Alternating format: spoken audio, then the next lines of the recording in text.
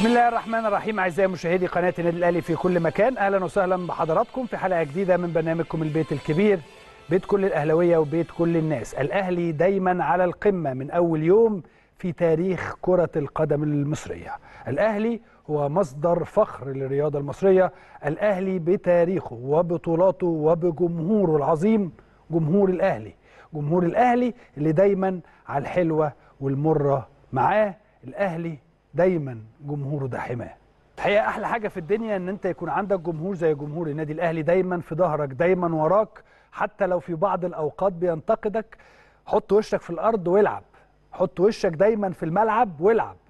وموت نفسك جوه الملعب علشان الجمهور مرة تانية يرجع يحطك في سابع سما خلينا بقى نروح للنادي الأهلي. النادي الأهلي بيستعد لمباراة قوية جدا بكرة إن شاء الله أمام سيراميكا كليوباترا في الجولة العاشرة للدوري الممتاز. الأهلي متصدر برصيد 23 نقطة. لكن الحقيقة ده مش كفاية. الأهلي دايما بيكون تحت ضغط. لازم يفوز بحضراتكم دايما. عارفين إن جمهور أو جمهور النادي الأهلي عارف ده كويس. ان إحنا لازم نفضل نكسب ونكسب بأداء جيد عشان نقدر نحافظ على الصدارة. ومباراه بكرة هي مباراة مش سهلة. زي ما كنت بحكي مع حضراتكم اليومين ثلاثة اللي فاتوا. هي دي طبيعة كرة القدم في النادي الأهلي بالمناسبة. هي دي طبيعة أي حد بينافس وهو شايل شعار النادي الأهلي ولابس فانيلة النادي الأهلي. لازم حضرتك كلاعب تستوعب كمية الضغوطات اللي موجودة لأن ده قدر البطل. الفريق اللي مش متعود على البطولات ما بيكونش عليه نفس الضغوط دي ابدا. بيقول لك لما تحب تريح لو أنت بتلعب في أهلي ولا زمالك لما تحب تريح روح العب في أندية ليست لها جماهير. يعني روح العب في إنبي روح العب في فيوتشر روح يلعب في بيراميدز روح يلعب في لكن الأندية الجماهيرية لأن الأندية الجماهيرية خصوصا النادي الأهلي تحديدا النادي الأهلي لأنه النادي الأهلي 70 80 مليون أهلاوي في مصر. فأنت لما بتمشي في أي حتة عليك ضغط. إيه يا كابتن ما كنتش قادر تجري في الماتش اللي فات ليه؟ كلكم مش قادرين تجروا ليه في الماتش اللي فات؟ الضغط ده مش على اللعيبة بس على اللعيبة وعلى الإدارة وعلى كل كل الناس بتفكر إن هي تعمل الصح. فاللعيبة لازم تبقى شايفة واخدة بالها من هذه الأمور. اللعيبة لازم تبقى عارفة إن الفترة اللي جاية لن يسمح لن يسمح من جمهور النادي الأهلي بإن حد. المكسب والخسارة ده بتاع ربنا. المكسب والخسارة والتعادل دي بتاعت ربنا. ولكن اجتهد واعرق وموت نفسك في الملعب هتلاقي جمهورك بيسقف لك. لأن الجمهور ده واعي جدا جدا جدا لكل حاجة. وعارف بدليل إن الماتش اللي فات كل الناس سقفت للشناوي. كل الناس سقفت لعلي معلول. اشمعنى علي معلول والشناوي يعني؟ لأنهم بذلوا أقصى مجهود.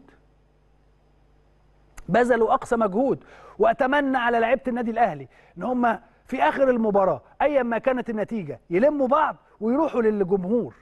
لو واحد هو اللي بيشجعكم لازم تروحوا له لأن الواحد ده بيمثل 70 80 مليون أهلاوي. لأنه في النهاية الفرق الكبير ما بين النادي الأهلي وأي نادي آخر إن جمهور النادي الأهلي دايما في ظهره. واثق في لعيبته ممكن ينتقدك جدا ولكنه واثق فيك. واثق فيك وعارف إن أنت وجهازنا الفني وإدارتنا نقدر نعمل أفضل حاجة كويسة. وده دايما اللي هيفضل الفرق بين النادي الأهلي وأي نادي آخر مهما كانت الضغوطات. مهما كانت الضغوطات. لأنه الضغط ده قدر البطل. والأهلي دائما في طريق البطولات. فحاجات كتيرة جدا جدا لازم ناخد بالنا منها. أنا بكلم اللاعبين هنا. لازم تفكروا لازم تركزوا في مباراة بكرة بشكل بنسبة 100% مش هقول لك 200% لأنه غلط. إن أنت تبقى 200% أنا عايزك تركز 100% كيف تستطيع إن أنت تبذل أقصى مج... تبذل أقصى مجهود بكرة إن شاء الله عشان تقدر تكسب.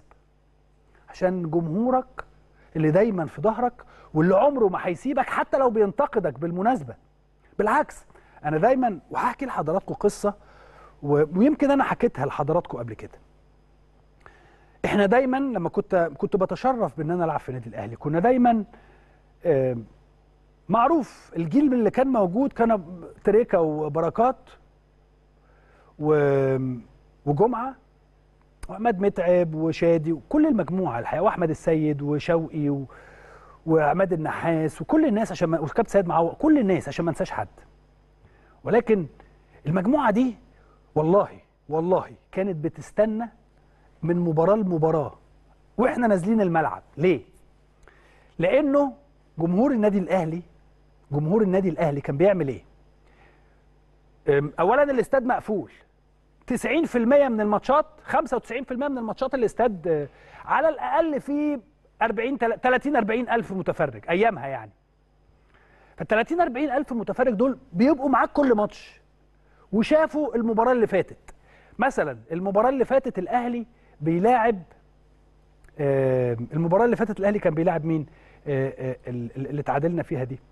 المباراة اللي فاتت أي مباراة أي اسم نادي الأهلي بيلاعب الاتحاد. والمباراة اللي جاية الأهلي بيلاعب السيراميكا كليوباترا. فالشناوي كان هو أفضل لاعب. الجمهور كان بيعمل إيه؟ يجي مباراة السيراميكا بكرة مثلا الشناوي وهو نازل. بيبقى الفرقة كلها نازلة. كل اللاعبين بيبقوا نازلين مع بعض. بيندهوا على اللاعب اللي هم اللي الجمهور شايف إن هو بذل أقصى مجهود وموت نفسه مهما كانت النتيجة. فكنت تلاقي مرة أبو تريكة مرة بركات مرة آه، جمعة مرة شادي مرة عماد مرة آه، متعب مرة حسام عاشور مرة شوقي مرة فلان. ممكن أبو تريكة يفضل هو خمس ست ماتشات اللي كويس فالناس تنده عليه أو الجمهور ينده عليه كل مباراة. هو الأول الأول دائما هو الأفضل. فكلنا كلاعبين كنا بنموت نفسنا في الملعب عشان نسمع نسمع. صوت الجمهور وهو بينده على آه، أبو تريكة مثلا. أنا أنا كنت يعني مش عايز أقول لحضراتكم ما بسمع اسمه ده والله جسمي كله كان بيقشعر. آه، أنا وغيري وغيري وغيري كلنا. فأنا نفسي نفسي ودايما أنا بحكي الموضوع ده لكل اللاعبين اللي موجودين دلوقتي في هذا الجيل أقول لهم اعملوا موتوا نفسكم تعبوا آه، موت نفسك في كلهم بيتعبوا طبعا لكن موتوا نفسكم أكتر علشان الجمهور اللي في ظهركم ده آه، ملوش زي. جمهور النادي الأهلي ده ملوش زي. جمهور النادي الأهلي ده لما يقف وراك صدقوني هتكسب كل حاجة. وأنا الكلام ده بتكلمه عن تجربة مش بتكلم كلام وخلاص. أنا ما بقولش كده وخلاص. أنا كسبت الصفاقسي في الصفاقسي أيام ما كان الصفاقسي ده كسبت الصفاقسي في الصفاقسي ب 30 متفرج ولا 40 متفرج. كان منهم الاستاذ طارق قنديل عضو مجلس إدارة النادي الأهلي الحالي. كان ساعتها مشجع للنادي الأهلي. كانوا 30 أو 40 واحد موجودين في استاد رادس ساعتها. وقدرنا نكسب وصوت ال 30 40 واحد دول كان مسموع جوه ال 30 ألف. والله العظيم ثلاثة هذا حصل. فجمهور الأهلي جمهور مختلف. اسمعوا الكلام. أنا ب يعني بحكي لكم تجربة آه، تجربة أو خبرة آه، خبرة كبيرة جدا في هذا الأمر. إن الجمهور ده وكلامي ده أنا بوجهه للعيبة. الجمهور ده أحلى حاجة في الدنيا. اعملوا وابذلوا أقصى مجهود وحسوا بيه. حسوا هم بيعملوا إيه؟ حسوا بيحصل فيهم إيه عشان يخشوا يتفرجوا ويشجعوكم شوفهم بيقاسوا إزاي عشان يروحوا استاد الاهلي والسلام اللي في مدينة السلام اللي في اخر الدنيا. عشان يجي وراك ويشجعك. وهم داخلين والمضايقات اللي بتحصل والامور اللي بتحصل كل حاجة. حسوا بالحاجات دي؟ صدقوني. وبرضه مرة تانية أنا بوجه كلامي للاعبين. كل شوية بقول هذه الكلمة لأنهم بياخدوا كلامي يقول لك بص بيقولوا ضد الجمهور. ف تاخدوا الحاجات دي وحطوها جواكم وشوفوا الجمهور بيعمل إيه عشان خاطركم آه، صدقوني هتكسبوا كل الماتشات بدون اي تعب. مش بدون اي تعب. آه، فنيا و... و... ومن... وتكتيكيا والكلام ده كله. أنا عارف إن أنتوا معاكم مدير فني رائع يستطيع إن هو يقود المباراة. وأنتوا لاعيبه جامدين جدا. لكن اللي ينقصكم الماتشين ثلاثة اللي فاتوا روح الفانيلا الحمراء. انسى أي حاجة. انسى أي زعل. انسى أي حاجة. وفكر في حاجة واحدة بس. الناس اللي جاية تشجعني دي جمهور النادي الأهلي 70 80 مليون أهلاوي اللي في كل مصر بيبقوا قاعدين. الواحد لما بيبقى بيشتغل والله العظيم ثلاثة ده بيحصل. في البنزين في البنزينة لما بتبقى واقف بتحط بنزين وفي ماتش الأهلي شغال تلاقي الراجل بيحط البنزين كده وبيبص على الماتش. هيعمل إيه؟ الماتش عامل إيه؟ ماتش الأهلي. لو الأهلي بيلعب ماتش ودي بيحصل الكلام ده. ده الكلام ده بيتقال لي من كل الناس اللي موجودين. فحسوا بالجمهور واعرفوا إن الجمهور ده هو الأساس في كل شيء. جمهور النادي الأهلي هو الأساس في كل شيء. أنا آسف طولت في هذا الأمر ولكن أنا اقتناعي إن إحنا عندنا مجموعة لاعبين جيدين. ولكن عندنا مشكلة كبيرة جدا جدا في روح الفانيلا الحمراء بقالنا 3 4 5 ماتشات من بعد الإيقاف. في حاجة مش حاسسها. وبعد الشوط بتاع ماتش المحلة.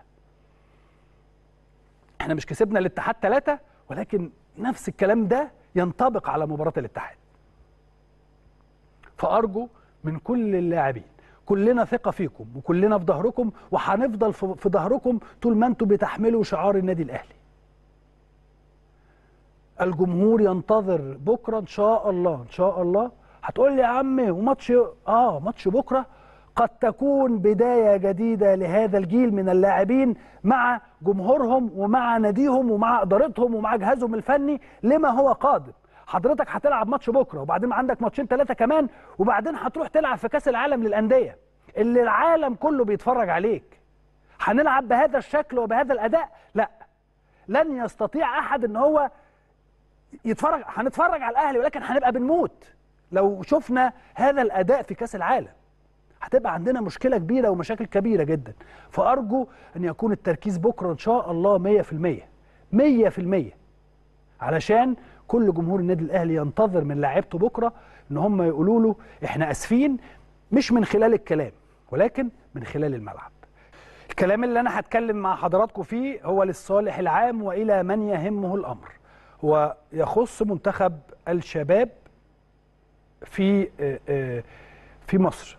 مصر ستنظم بطولة كأس الأمم الأفريقية تحت 20 سنة وهذه البطولة هي المؤهلة إلى كأس العالم وهتكون في الفترة ما بين 18 فبراير حتى 12 مارس. المباريات هتقام على ثلاث استادات والحقيقة أن الدولة موفرة بنية تحتية رائعة. استاد القاهرة وده اللي هتكون عليه مباريات منتخبنا والمجموعة الأولى. واستاد قناة السويس وده مفخرة كبيرة جدا وملعب على أحدث طراز وهتكون عليه مباريات المجموعة الثانية استاد الإسكندرية هو أعرق الملاعب القارة الإفريقية وهو للمجموعة الثالثة ولكن لغاية هنا كلام حلو جدا. اتحاد كرة القدم دايما بيكون عنده كواليس أولها منصب مدير البطولة. أنا قلت لحضراتكم الكلام ده من أسبوع. في البداية حاولوا يقنعوا أحد أعضاء اللجنة الخماسية لقبول منصب مدير البطولة وجالهم الرد بالرفض. فكان البديل مين؟ زي ما قلت لحضراتكم من أسبوع. الأستاذ وليد العطار المدير التنفيذي للاتحاد المصري لكرة القدم. هو مدير بطولة كأس الأمم الإفريقية تحت 20 تخيل حضرتك اتحاد كرة القدم بيكافئ الأستاذ وليد لأن لجنه لجنة وزارة الشباب والرياضة أدانته أو أدانت الإدارة التنفيذية لاتحاد كرة القدم في واقعة سابقة تخص تنظيم البطولات بعد إخفاء خطاب تنظيم نهائي دوري الأبطال الإفريقي. فاتحاد كرة القدم يسكت. لا يقول لك أنا لازم أكافئ الأستاذ وليد العطار. ولازم أكافئ نفس الإدارة التنفيذية. ليه؟ لأن هم الحقيقة بيعملوا كل حاجة صح. وديهم تنظيم هذه البطولة. وأنا هنا الحقيقة يعني لن أعلق. لن أعلق. حرام عليكم. والله العظيم طلع حرام عليكم اللي بيحصل. لكن هسيب التعليق لجمهور النادي الأهلي أو جمهور مصر بالكامل اللي بيقعدوا يتفرجوا علينا. دي دي كانت معلوماتي عن الجانب التنظيمي. خليني أدخل مع حضراتكم كمان للجانب الفني. وأنا بقى احذر مرة تانية وتالتة وعشرة. ليه؟ ما عندناش أمل غير هذا المنتخب. منتخب الناشئين فضيحة بتاعة الكابتن محمد وهبة زي ما حضراتكم عارفين المدير الفني. و... وفيتوريا نفسه قال إن منتخب 2003 ده من المفترض إن يكون معاه مجموعة كبيرة منهم في تصفيات القادمة. فكابتن محمود جابر الحقيقة عنده حالة من التخبط في استعدادات منتخب مصر للشباب بسبب المباريات الودية. طبعا اللي اللي شاف الكابتن محمود جابر وهو قاعد وسمع المجموعة بتاعتنا وشه اتخطف. مجموعة صعبة فيها نيجيريا والسنغال وموزمبيق. آه عايز أقول لحضراتكم مفيش حاجة صعبة على منتخب مصر لكن هو ده على فكرة الكلام ده اتقال لي من ناس كانت قاعدة جنبه. قالوا لي تحس ان وشه اتخطف كده ما تفهمش. المهم كان في اجتماع سابق مع مسؤول اتحاد كرة القدم والكابتن آه، آه، المدير الفني للمنتخب 2003 طلب منهم مباريات ودية مع منتخبات إفريقية قريبة من مستوى المنافسين في أمم إفريقيا. وبالفعل اتحاد كرة القدم هنا أنا بحيي اتحاد كرة القدم. ولكن اللي جاي بقى اتحاد كرة القدم اتحرك ورتب دورة كان من المفترض أن تقام في مصر ويشارك فيها إيه؟ ثلاث منتخبات قوية زامبيا والكاميرون والمنتخب السوري. وبعد ما اتفقوا وعملوا كل حاجة رجع لهم المدير الفني وقال لهم إيه؟ لا أنا مش هلاعب المنتخبات دي. والدورة طبعا اتلغت. طيب رجع مرة تانية قال لهم طيب خلوني العب زامبيا. فمنتخب زامبيا طبعا اعتذر وقال لهم لا إحنا خلاص عندنا ارتباطات وانتوا غيرتوا اتفاقاتكم قبل كده. فطبعا اضطر النهارده يلعب إيه؟ مع منتخب غانا للمحليين. طبعا ده استعداد غير كافي وغير قوي للبطولة. ورغم ذلك خسرنا 2-0 بأداء ضعيف جدا. وبعض اتحاد كرة الق... بعض أعضاء اتحاد كرة القدم غاضبين جدا من المستوى اللي ظهر بيه النهارده. ولكن الحقيقة هناك أزمة أخرى وأكبر بتواجه منتخبنا الوطني للشباب خصوصا في تعامل المدير الفني مع ملف المحترفين في أوروبا. يعني كلنا شفنا تجربة منتخب المغرب بدأت بمنتخبات الناشئين والشباب واستقطابهم للمحترفين في أوروبا من أصحاب الجنسية المغربية. اللي بيحصل في مصر مع المدير الفني ل 2003 منتخب 2003 عكس ده تماما. فالمدير الفني بيعمل إيه؟ بيستدعي بعض المحترفين لمعسكرات سابقة. ما كملش حد منهم غير صلاح باشا لاعب أودينيزي. رغم إن في أكتر من 20 لاعب محترف في أوروبا والخليج من مواليد 2003 من الممكن جدا أن نستفيد منهم لمستقبل كرة القدم المصرية. طبعا هو استدعى بعض اللاعبين قبل كده ولكن من أنديتهم في أوروبا والخليج وشافهم. عارفين حضراتكم راح لاتحاد كرة القدم وقال لهم إيه؟ مش عاجبني مستواهم اللي عندي أفضل منهم رغم إنهم وكمان قال لهم كده. قال لهم آه، كان بيلعب بعضهم كمان في غير مركزه. يعني هو كابتن محمود بيلعب بعضهم في غير مركزه. وطبعا الكلام ده بيطلع بره لدرجة إنه قال إن على بعض اللاعبين المتألقين في الأندية الأوروبية إنهم لاعيبه أكاديميات وإن هو ما بياخدش بكلام الإنترنت. طبعا الكلام ده وصل للعيبة وعمل لهم إحباط. وطبعا برضه لما البطولة قربت ودخلنا في الجد رجع بقى إيه المدير الفني يحاول يضم هؤلاء اللاعبين من أنديتهم في أوروبا آه، ومع ذلك جابهم ومشاهم في اللي مشاهم يعني في معسكرات سابقة.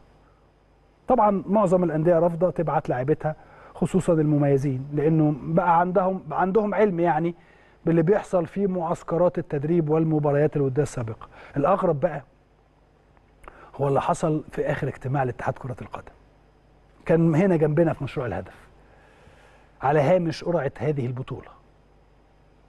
في تخوف كبير من أعضاء مجلس إدارة الاتحاد المصري لكرة القدم من أي تعثر في هذه البطولة لدرجة إن الأستاذ جمال علام طلب من أعضاء مجلس إدارة الاتحاد عمل زيارات دورية لمعسكر المنتخب المنتخب ودعم المدير الفني واللاعبين.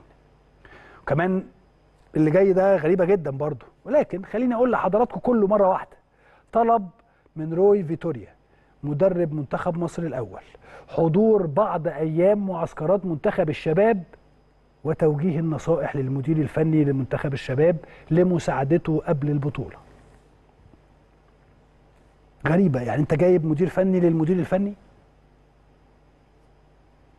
الحقيقة هذه الأجواء هي أجواء غير مبشرة بأي نجاح.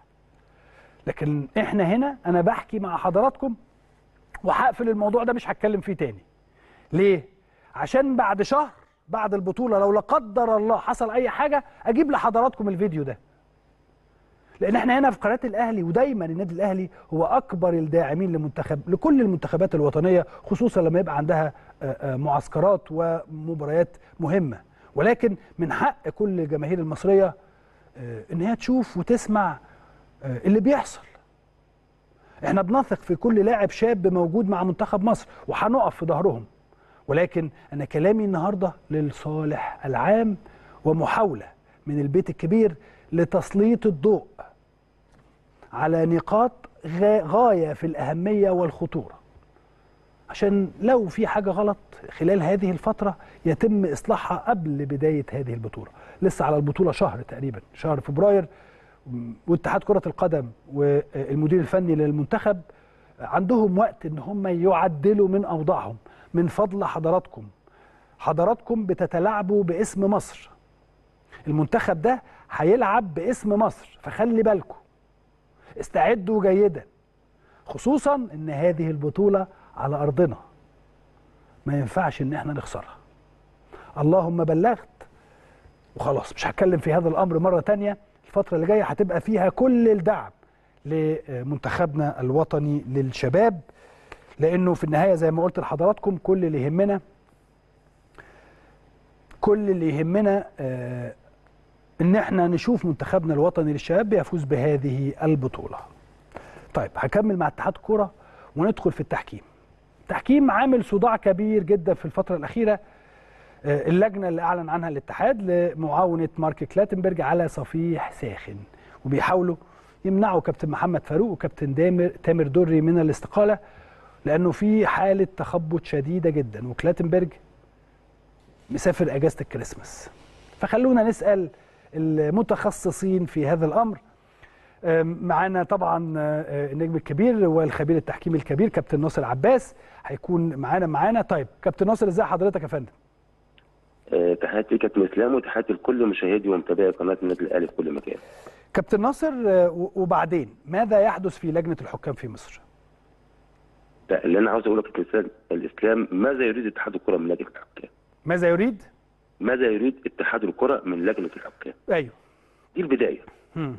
كابتن اسلام في الوقت اللي الاتحاد الدولي النهارده بيسعى إلى تطوير منظومة كرة القدم بصفة عامة والتحكيم بصفة خاصة وده شفناه في آه، آه، مونديال قطر 2022. مم. شفنا قد إيه الحكام بتتعامل، قد إيه الحكام بيتم إعدادها بشكل جيد،. قد إيه المردود كان مردود هايل ورائع للحكام في كأس العالم. النهارده المفترض إحنا مش بنبعد عن الاتحاد الدولي ولا الاتحاد القاري ولا الاتحادات الأهلية يا كابتن إسلام.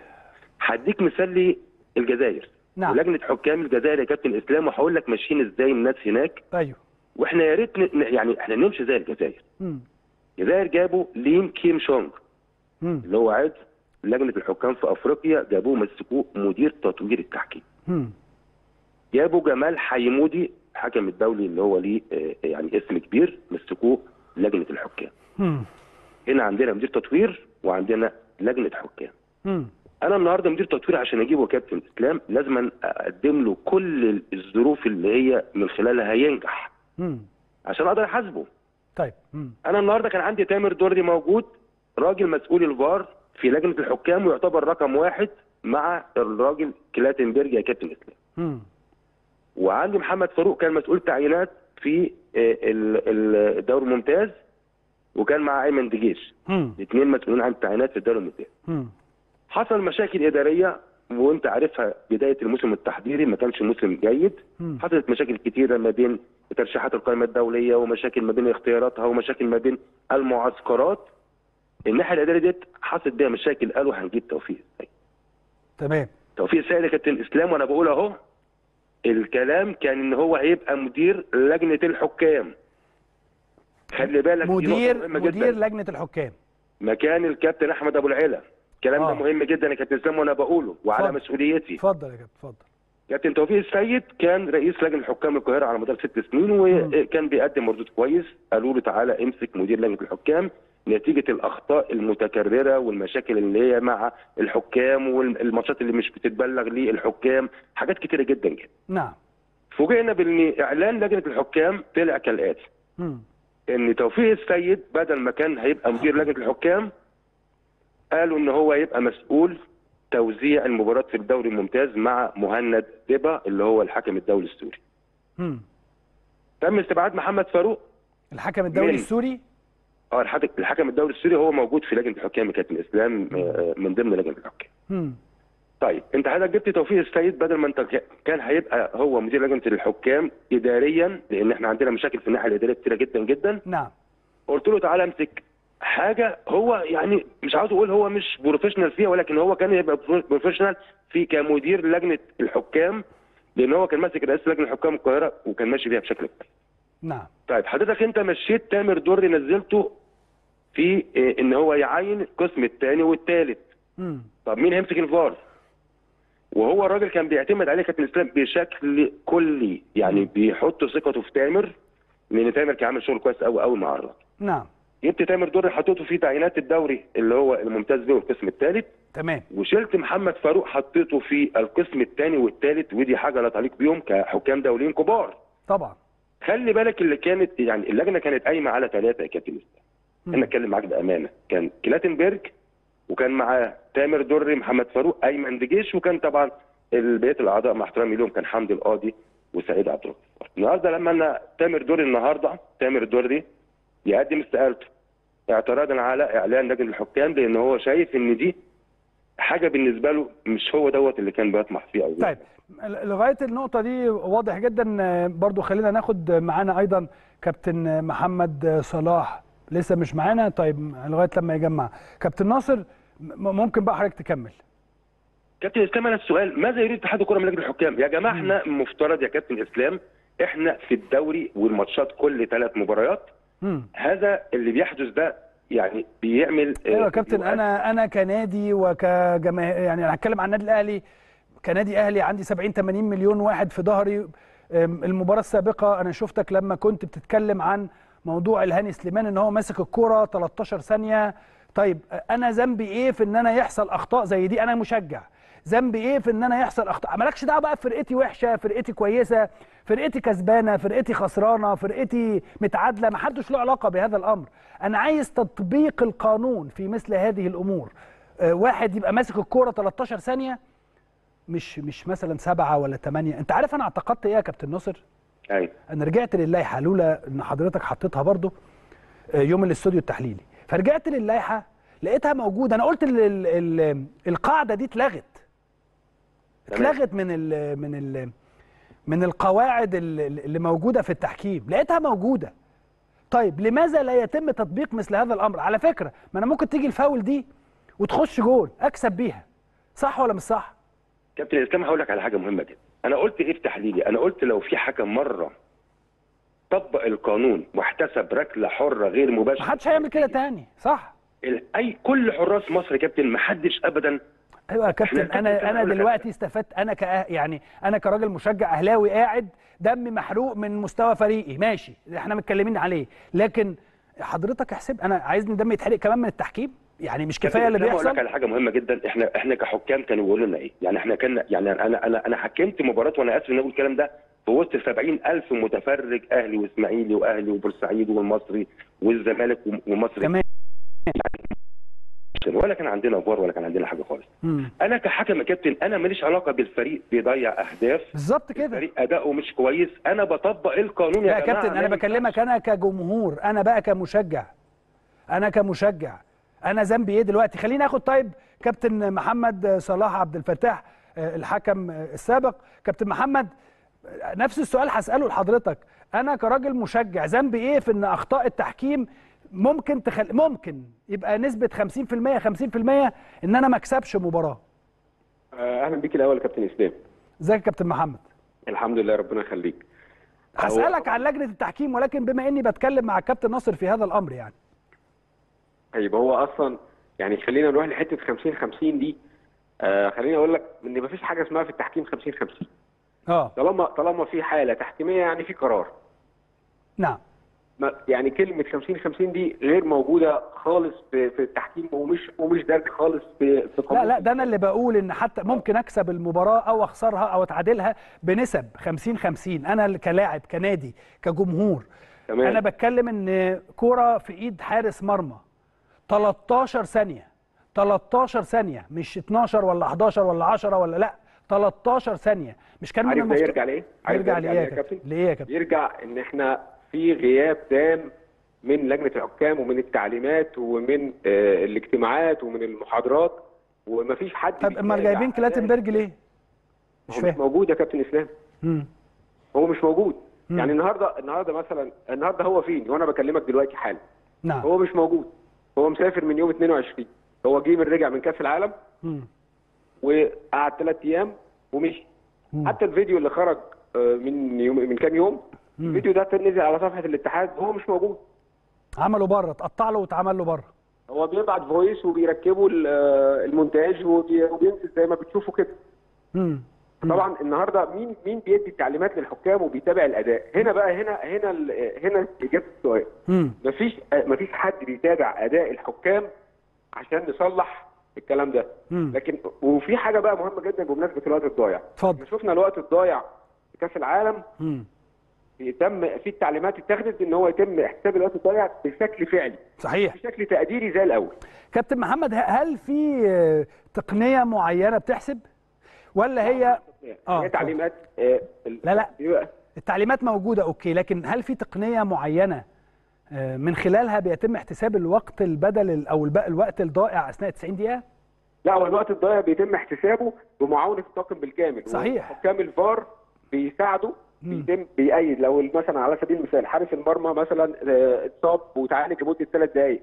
آه، بيتم تقييد الوقت ده لك ثلاث دقائق بيكتب وبعدين بيحسب في نهاية حلو جدا. يعني الموضوع يدوي ما فيهوش تقنية آه، آه. ما فيهوش. تكنولوجيا يعني لا لا لا لا خالص. طيب لماذا لا يتم تطبيقه في مصر؟ أنا المرة اللي فاتت وبرضه هنا من خلال قناة النادي الأهلي في الاستوديو التحليلي كابتن ناصر عباس جاب الوقت اللي, اللي كان ضايع مش الماتش اللي فات أعتقد يا كابتن ناصر الماتش اللي قبله آه، كان حوالي ست دقائق وهو حسب أربع دقائق أو حسب ثلاث دقائق حاجة كده يعني. مظبوط والكلام ده حصل في أكتر من مباراة مش مباراة واحدة. وال- والكلام ده حصل في أكتر من مباراة مباراة واثنين وثلاثه طيب طالما هو حاجة يدوية ما عنديش مشكلة. حاجة حاجة يدوية. لو حاجة تكنولوجية كنت هقول لك استنى لغاية لما التكنولوجيا تيجي. لكن طالما يا كابتن إسلام؟ آه. معلش أنا آسف قطع كلامك. اتفضل. آه، أثناء آه، مباريات مونديال قطر 2022 وكأس العالم شغال مم. الاتحاد السعودي لكرة القدم ادى تعليماته فورا للحكام في الدوري السعودي. طبق آه، الوقت الضايع هن- هنحتسبه بالشكل الفعلي زي كأس العالم مفروض. الموضوع مش محتاج تعديل هو مفيش تعديل في قانون كرة القدم مم. هو الفرق كله إن هو كان عملية تقديرية للحكم نعم. ولكن قال لك لا إحنا هنلعب ال 90 دقيقة كاملة ومش هيضيع منها ولا دقيقة مم.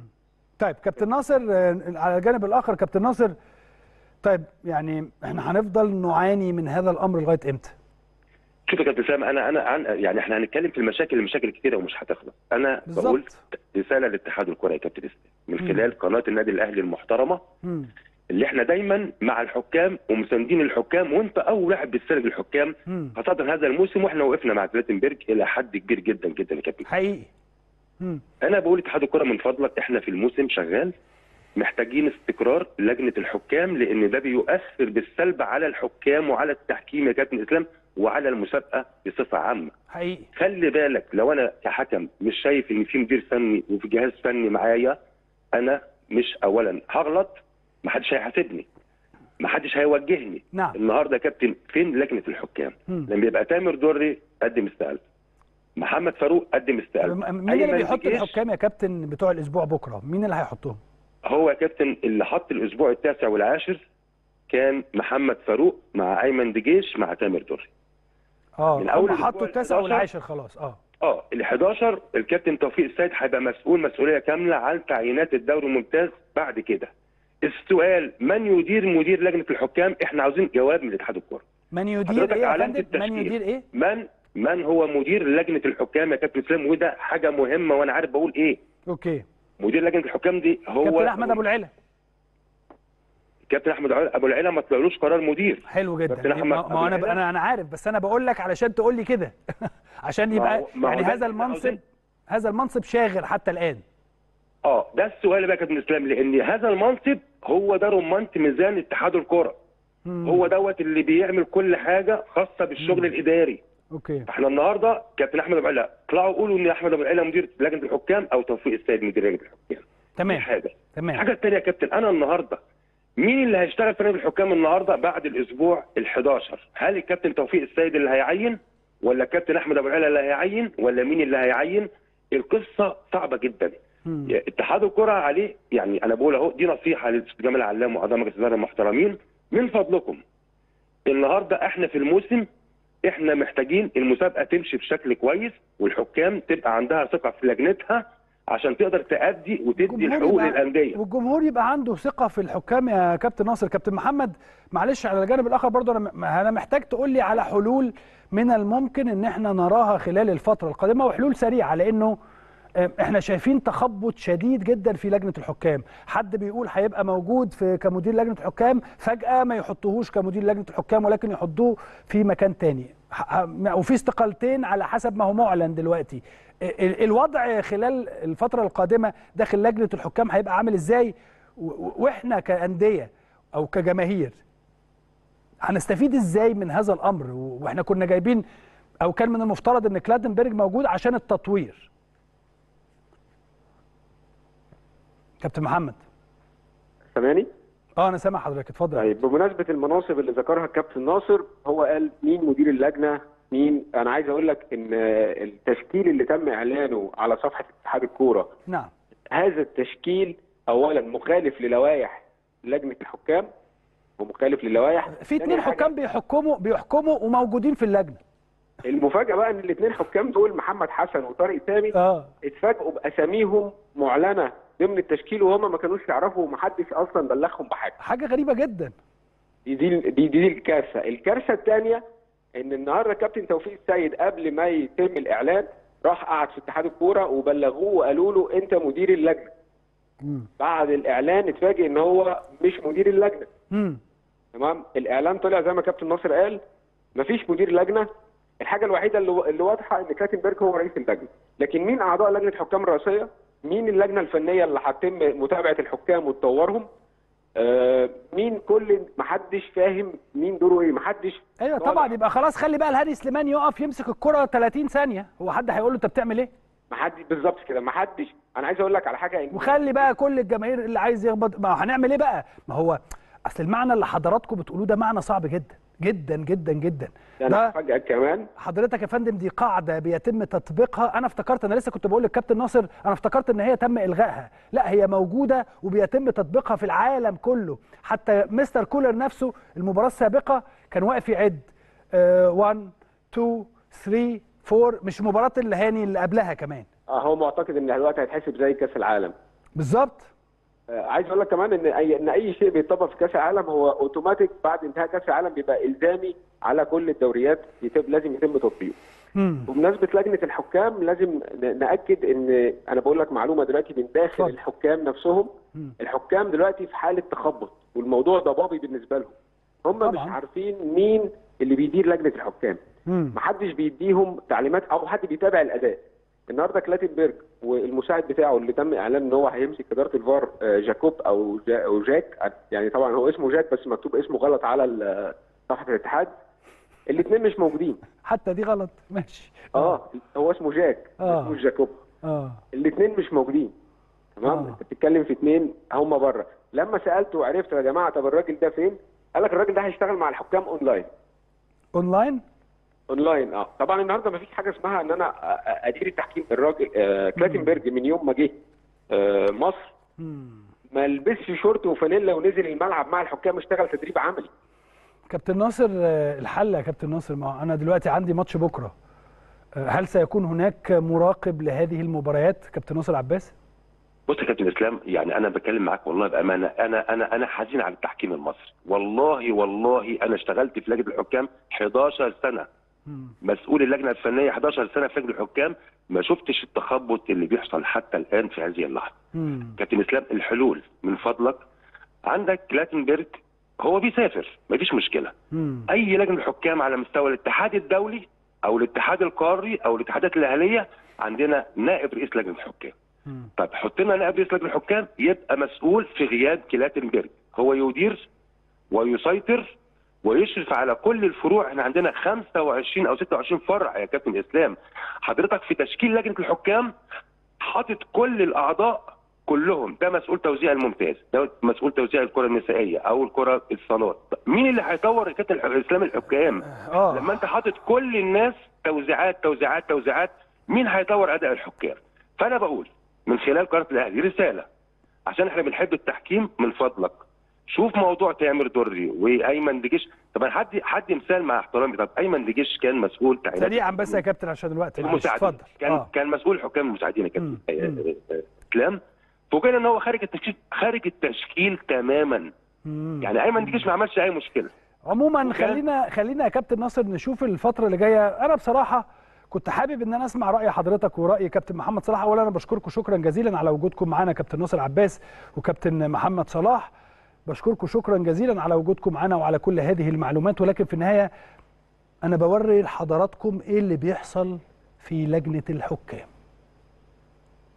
عرفتوا الهاني سليمان مسك الكرة 13 ثانية وما اتحسبتش فاول ليه؟ مش هتكلم أكتر من كده. خلينا نطلع فاصل وبعد هذا الفاصل نرجع نكمل مع حضراتكم مرة أخرى.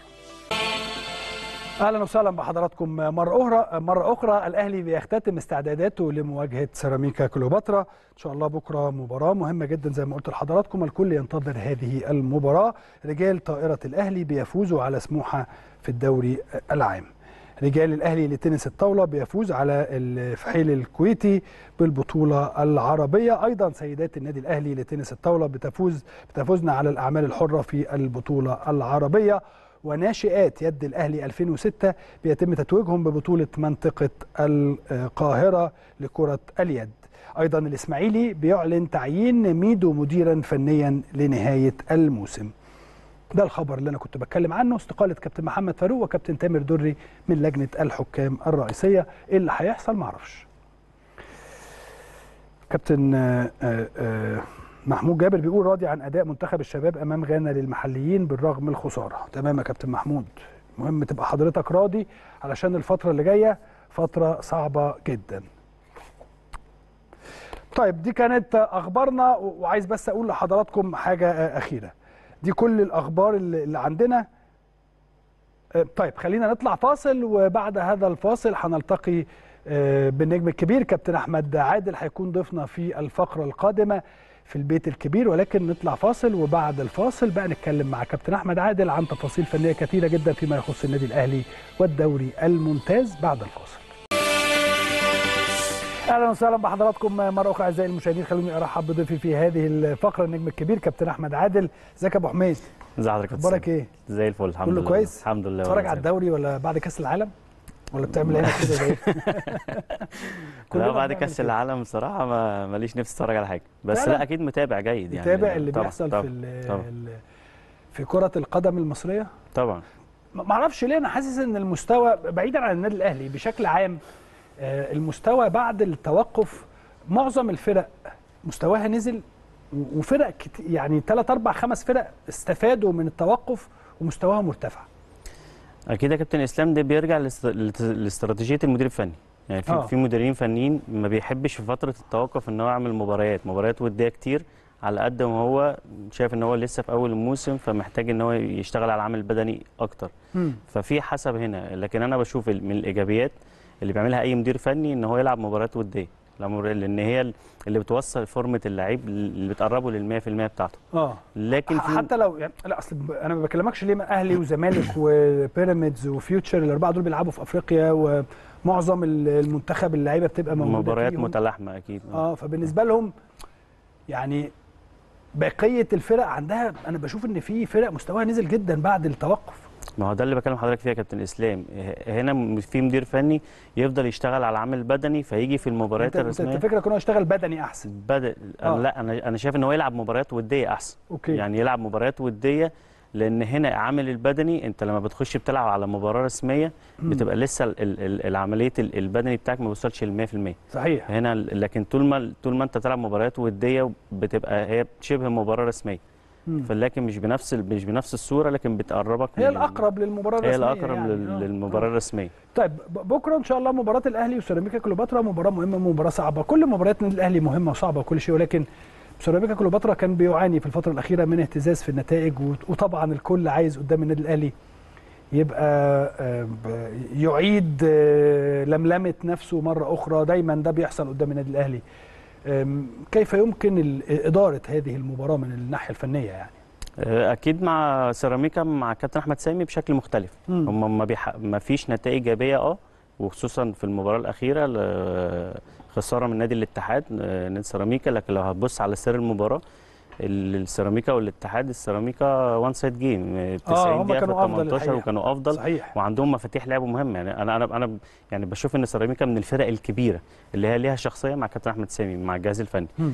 لكن أكيد هتبقى مباراة صعبة. وزي ما حضرتك قلت كل مباراة آه، كل فرقة بتلعب قدام النادي الأهلي أو قصاد النادي الأهلي هي بتبذل أقصى جهد عندها لأن المباراة قدام النادي الأهلي مختلفة مختلفة وليها دوافع كبيرة. طبعا. عشان كده أي فريق هيلاعب النادي الأهلي هو بيبقى عنده دوافع كبيرة إن هو بيلعب قصاد فريق كبير المباراة ما بتتكررش في الدوري إلا مرتين في في السنة ولو في بطولة الكاس هيبقى ثلاث مباريات لكن الدوافع أنا بشوف إن عند سيراميكا وبيأدي بشكل جيد لكن هو السوق بس النتائج لكن على مستوى الأداء لا بيأدي بشكل جيد وأكيد هتبقى مباراة صعبة مع. سيراميكا من الفرق اللي ما بتلعبش بتقفل وبتلعب على الهجمات المرتدة على الرغم ان هم عندهم واحد زي جون إيبوكا أحمد ياسر ريان عندهم الناحية ال- ال- الهجومية رائعة جدا الحقيقة ولكن مش من الفرق اللي بتقفل من الفرق اللي بتروح وتيجي معاك. هل ده أسهل للنادي الأهلي؟ أسهل لأن هيبقى فيه مساحات. مم. أسهل يبقى فيه مساحات وده ده يعني هنا ال game أنا أتوقع إن هو game هيبقى مفتوح. يعني ال game هيبقى مفتوح من الفرقتين. الأهلي بيلعب كورة ونادي سيراميكا برضه عايز يلعب كورة مع كابتن أحمد سامي. كابتن أحمد سامي من المديرين الفنيين ما بيغير است- ما بيغيرش استراتيجيته في اللعب.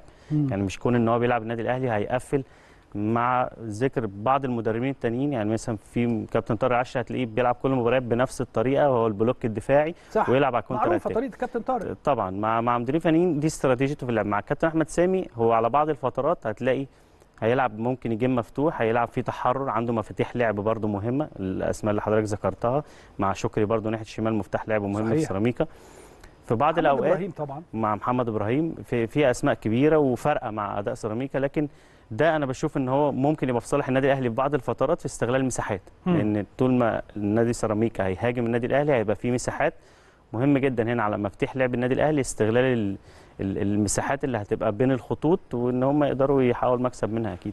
جماهير النادي الأهلي غير راضية عن مستوى أداء الفريق خلال الم- الماتشات اللي فاتت بغض النظر عن التعادل. وأنت يعني كنت نجم في النادي الأهلي وعارف هذا الكلام إن أنت ما فيش مشكلة إن أنا أتغلب لا قدر الله يعني ما بتحصلش إلا قليل لكن ولا تعادل حتى ولكن المشكلة إن أنا ما فيش روح الفانيلا الحمراء موجودة في أغلب المباريات في الفترة الأخيرة. كيف يمكن استعادة هذه هذا الأمر؟ أكيد يا كابتن إسلام لازم يبقى في دوافع متجددة. يعني دوافع عند اللعيبه متجددة من المدرب ولا من بينه وبين. نفسه؟ من. اللعيب. خلي بالك برضو يعني تاني حد أو تالت حد ال- الأسبوع ده يتكلم معايا في هذا الأمر إنه اللعيبة نفسها هي اللي محتاجة إن هي تجدد من دوافعها. أكيد يا كابتن إسلام. أنا أنا مش عايز أوصل ان إن خلاص أنا لعيب داخل النادي الأهلي فحققت كل حاجة. لا أنت عليك مسؤولية كبيرة داخل النادي عليك مسؤولية كبيرة داخل تجاه جماهير قاعدة جماهيرية كبيرة جدا بتساندك في في أسوأ الفترات آه، حتى لو في لا قدر الله نتيجة سلبية فبتساندك في كل الفترات. آه، معلش فأ- قبل ما تكمل كلامك الكرة دي لو كانت اتلعبت أيام جوزيه واتعملت كده ما بين ال back وال third back كان عمل إيه؟ كان قلع الشوز. لا والله كان هاتها لي كده يا سمير. معلش تاني. أصل الكرة دي هو كان بيلعب أحمد كان بيلعب back right آه، طبعا آه. فيعني يعني الحاجات اللي زي دي إحنا كنا بنعاني ما منها ينفعش خالص تخيل لو اتعملت الكرة دي كان ما هيعمل. فيك إيه؟ ما ينفعش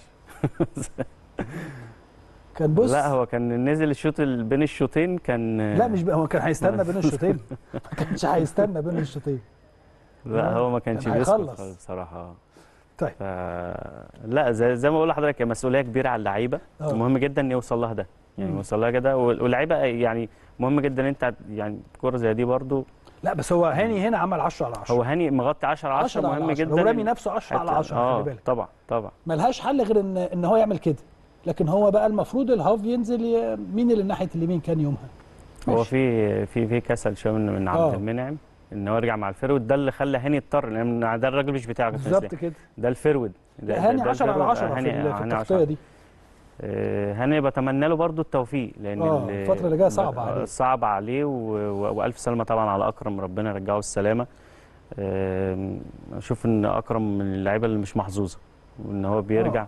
ما شاء الله الله أكبر يعني بيرجع بعد صليبي بيأدي بالأداء دوت فترجع له ال- أو يتصاب تاني ف وأكيد مهم مكان مهم داخل النادي الأهلي طبعا يعني في الجبهة اليمنى كان فارق بشكل كبير جدا مع أداء النادي الأهلي لكن أتمنى إن هاني يكون عند عند حسن ظن الناس ويقدر يأدي بالصورة الجيدة مع استمراره في اللعب أكيد يجيب في فورمة المباريات تاني إن شاء الله يعني. خلي بالك أنت فاكر هاني مثلا في مباراة بايرن ميونخ في كأس العالم كان عامل إزاي؟ الناس كلها أشادت بالمستوى كان بيلعب عليه مين؟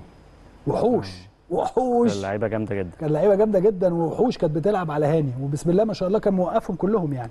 بس هنا كابتن إسلام الضغوط بتبقى على اللعيبة لأن أنت حقيقي. مهم بتبقى مطالب إن أنت في كل المباريات تأدي بنفس الصورة وبنفس مم. الأداء لأن زي ما حضرتك عارف إن اللعب داخل النادي الأهلي مش سهل مش صحيح. سهل إن أنت تلعب وبتلعب في, في أكتر من بطولة وعليك ضغط مباريات فمهم جدا curve أدائك بيبقى في العالي دايما مم. حتى ممكن يقف عند مستوى معين وبعد كده يعلى تاني لكن ال curve اللي هو نازل طالع ده بيبقى صعب جدا على أي لعيب وبيأثر على أداء الفرقة. يعني بيأثر على أداء الفرقة عشان كده هنا ممكن بعض الجماهير ما بتبقاش راضية عن الأداء شوية آه، لكن مهم جدا أنا أنا دايما بتكلم في حتة إن أنت لو الكوره مش ماشية معاك أو الأداء مش مرضي بعض الشيء آه. مهم تحقق الثلاثه بونت ولا إن أنت وابذل اقصى مجهود كمان ده ده مهم ده مهم آه، جدا يعني مش مهم الكره مش ماشية معايا مش عارف أرفع لا لا خالص. كويس. أدافع كويس يعني أهاجم مش عارف أضغط أدافع، يبقى أقطع. كويس. آه ف فهنا في حاجات بتشيل حاجات حاجات بتعوض صحيح. حاجات ده اللي أنا أتمناه للروح والقلب والعزيمة والإصرار إن هي تلج... ترجع للروح النادي الأهلي زي ما إحنا بنتكلم دايما. ده هيفرق معانا في المباريات اللي جاية أكيد إن شاء الله.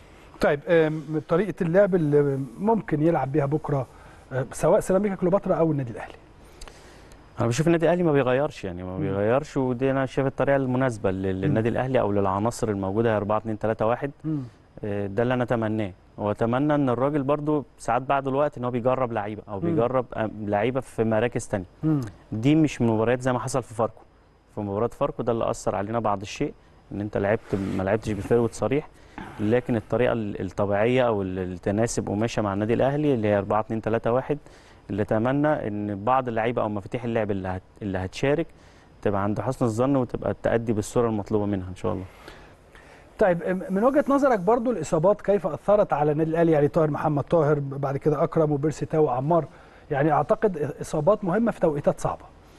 أكيد يا كابتن زي ما قلت لحضرتك إصابة أكرم آه، يعني إن هو لسه ما لحقش إن هو يرجع يجيب فورمته تاني وفي مكان أنا بشوف إن هو مؤثر. لأن مطلوب داخل النادي الأهلي إن كل ال... كل أماكن اللعب أو أنت بتتكلم في ست سبع مفاتيح لعب هو من أهمهم. كان أكرم توفيق آه، كان هيفرق جدا مع اداء النادي الأهلي. آه، طاهر برضو ال- الفترة الأخيرة كان بيأدي بشكل جيد وقدر إن هو يرجع لمستواه. لكن هنا بيصادفوا سوء حظ في عملية الإصابة. بيرسي تاو أكيد كان مهم يبقى صفقة إضافة للنادي الأهلي بشكل أكبر من كده أو الاستمرار حتى في في المباريات أو المشاركة. ده كان مهم جدا لكن في بعض اللعيبة أتمنى إن هي يعني ترجع وتضيف. يعني أكيد حسين الشحات برضو أنا شايف إن هو في الفترة الأخيرة لما بينزل بيضيف للنادي الأهلي وبيقدر بيعمل أكتر من أسيست أو بيبقى إضافة حتى في التغيير للنادي الأهلي. ممكن لو حسين بدأ برضو في ال- في المكان دوت ويبقى إضافة قوية أكيد للنادي. طيب برضو عايزين نعرف إن النادي الأهلي دايما ناحية اليمين أو بيعتمد دائما على ناحية اليمين وناحية الشمال. ناحية اليمين محمد هاني ده يعتبر إن شاء الله الماتش الثاني ليه لو هو اللي هيلعب بكرة. الناحية الثانية علي معلول ماشي بشكل جيد. هل النادي الأهلي محتاج في هذه الأماكن لعيبة أخرى من وجهة نظرك في الميركاتو؟ لا أنا شايف ال squad بتاع النادي الأهلي كله كويس يعني كله مم. كله تمام أه بشوف محمد أشرف بديل إنه الناحية الشمال إن هو يشيل مع علي معلول.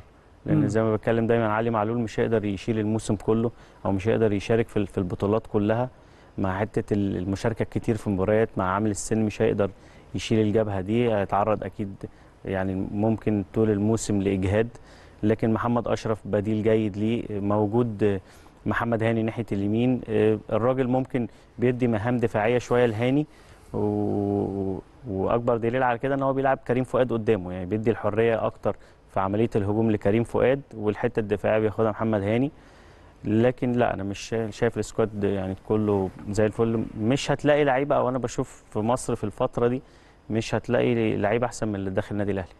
كل السكواد نفس ال نفس ال الأداء ونفس الشكل مش هتلاقي لعيب أحسن من كده في, أي فرقة في, في مصر.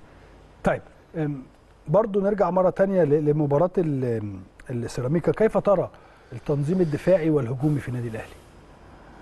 في, في المباراة القادمة يعني. مهم جدا التقفيل على الجناب الملعب. على جناب الملعب مم. لأن زي ما زي ما بقول لك كابتن أحمد سامي من نوعية على طرفين الملعب وهنا المباراه مش تقدر تحددها برضو إن كابتن. أحمد سامي بيبقى متنوع. متنوع في في, في طريقة الهجوم. يعني سواء من على طرفين الملعب أو من قلب الملعب عن طريق جون ابوكا أو محمد إبراهيم أو من على طرفين الملعب عن طريق شكري أو أيام ما كان حد هيلعب ناحية اليمين. لا بيبقى في تنوع في في الأداء. وده راجع أكيد للمدير الفني مستر كولر إن هو يدرس نقط القوة والضعف في فريق سيراميكا. وبشوف إن هي مش هتبقى مباراة مقفولة. يعني. مش هتبقى مفتوحة. مباراة مقفولة هتبقى مباراة مفتوحة. وخصوصا زي ما بقول لحضرتك بتفرق مين اللي بيلعب قصاد النادي الأهلي وطريقة لعبه عاملة إزاي. يعني مع بعض المديرين الفنيين أو سياسة المدير الفني اللي بيلعب قصاد النادي الأهلي بيبقى في حرص شديد جدا في العملية الدفاعية أو سواء بيلعب على ال counter attack في بعض الفترات. لكن أنا أتوقع إن الجيم مع كابتن أحمد سامي هيبقى أسهل حتى مباراة سموحة اللي فاتت. طيب آه، إنفوجراف عن مشوار النادي الأهلي في آه، الدوري ونكمل كلامنا مرة أخرى.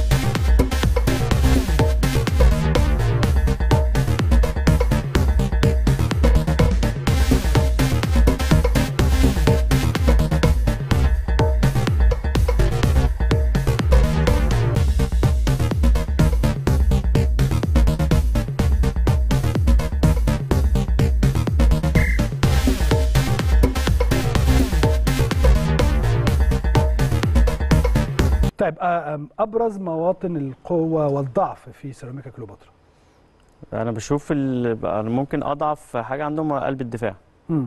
قلب الدفاع آه، ممكن النادي الأهلي يقدر يستغل دي آه، مم. في في في الحالة الهجومية لكن آه، ده بي- ممكن نروح لحتة شوية إن أنت مهم جدا رقم 10 في النادي الأهلي. اللاعب اللي يلعب رقم 10 سواء. قفشه أو برونو سافيو مهم جدا إن يبقى اللعب عليه بشكل كبير جدا لأن هم عندهم الملكة إن هم عملية السيروهات آه، سواء لو هيبدأ شريف أو شادي حسين برضو عملية الاختراق من بين ال centre back ين آه، عامل السرعة هيبقى مع النادي الأهلي. فدي أنا ممكن أشوف إن دي أضعف الخطوط في في فريق سيراميكا لكن طرفين الملعب مع خط ال forward من أقوى من أقوى الخطوط عندهم يعني آه، هل إقامة المباراة في استاد القاهرة تفرق؟ لأن المباراة دي هتلعب في استاد القاهرة لأنها مباراة سيراميكا كليوباترا آه، أعتقد إن ال- في صالح النادي الأهلي أكبر يعني في صالح النادي الأهلي أكبر لأن النادي الأهلي بيحتاج المساحات الواسعة المساحات الكبيرة آه، غير الملاعب الثانية ممكن تبقى مقفولة شوية لكن استاد القاهرة آه، مساحاته أكبر وأعتقد لعيبة النادي الأهلي عندها من الخبرات ومن القدرات إن هي تقدر تستغل المساحات اللي هتبقى اللي هت اللي هيشتغلوا عليها في مم. المباراة. ف- فلا المباراة أنا شايف إن في في استاد القاهرة الكفة الأرجح للنادي الأهلي طيب إنفوجراف عن مشوار سيراميكا كليوباترا في الدوري العام ونرجع نكمل.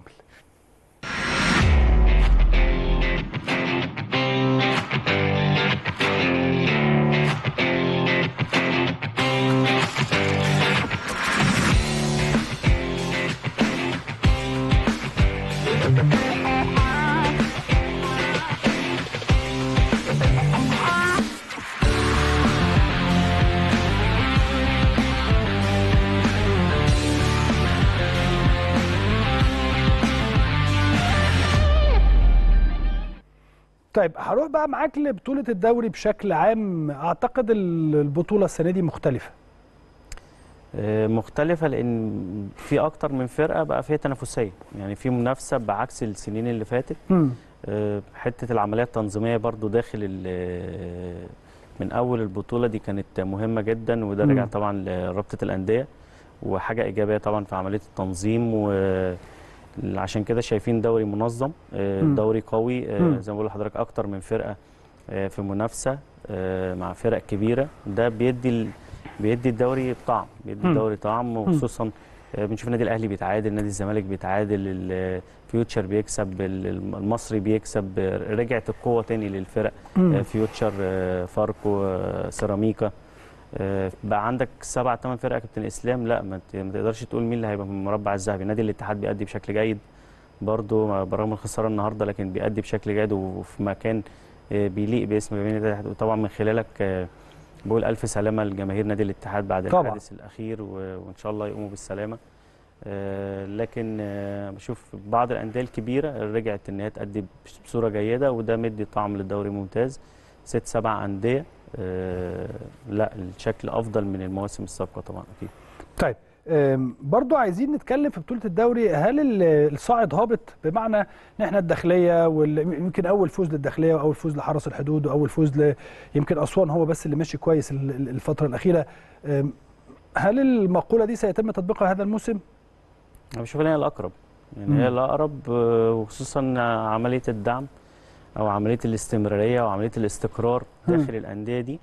آه، ده كان مهم جدا لكن هيواجه صعوبة بشكل كبير جدا.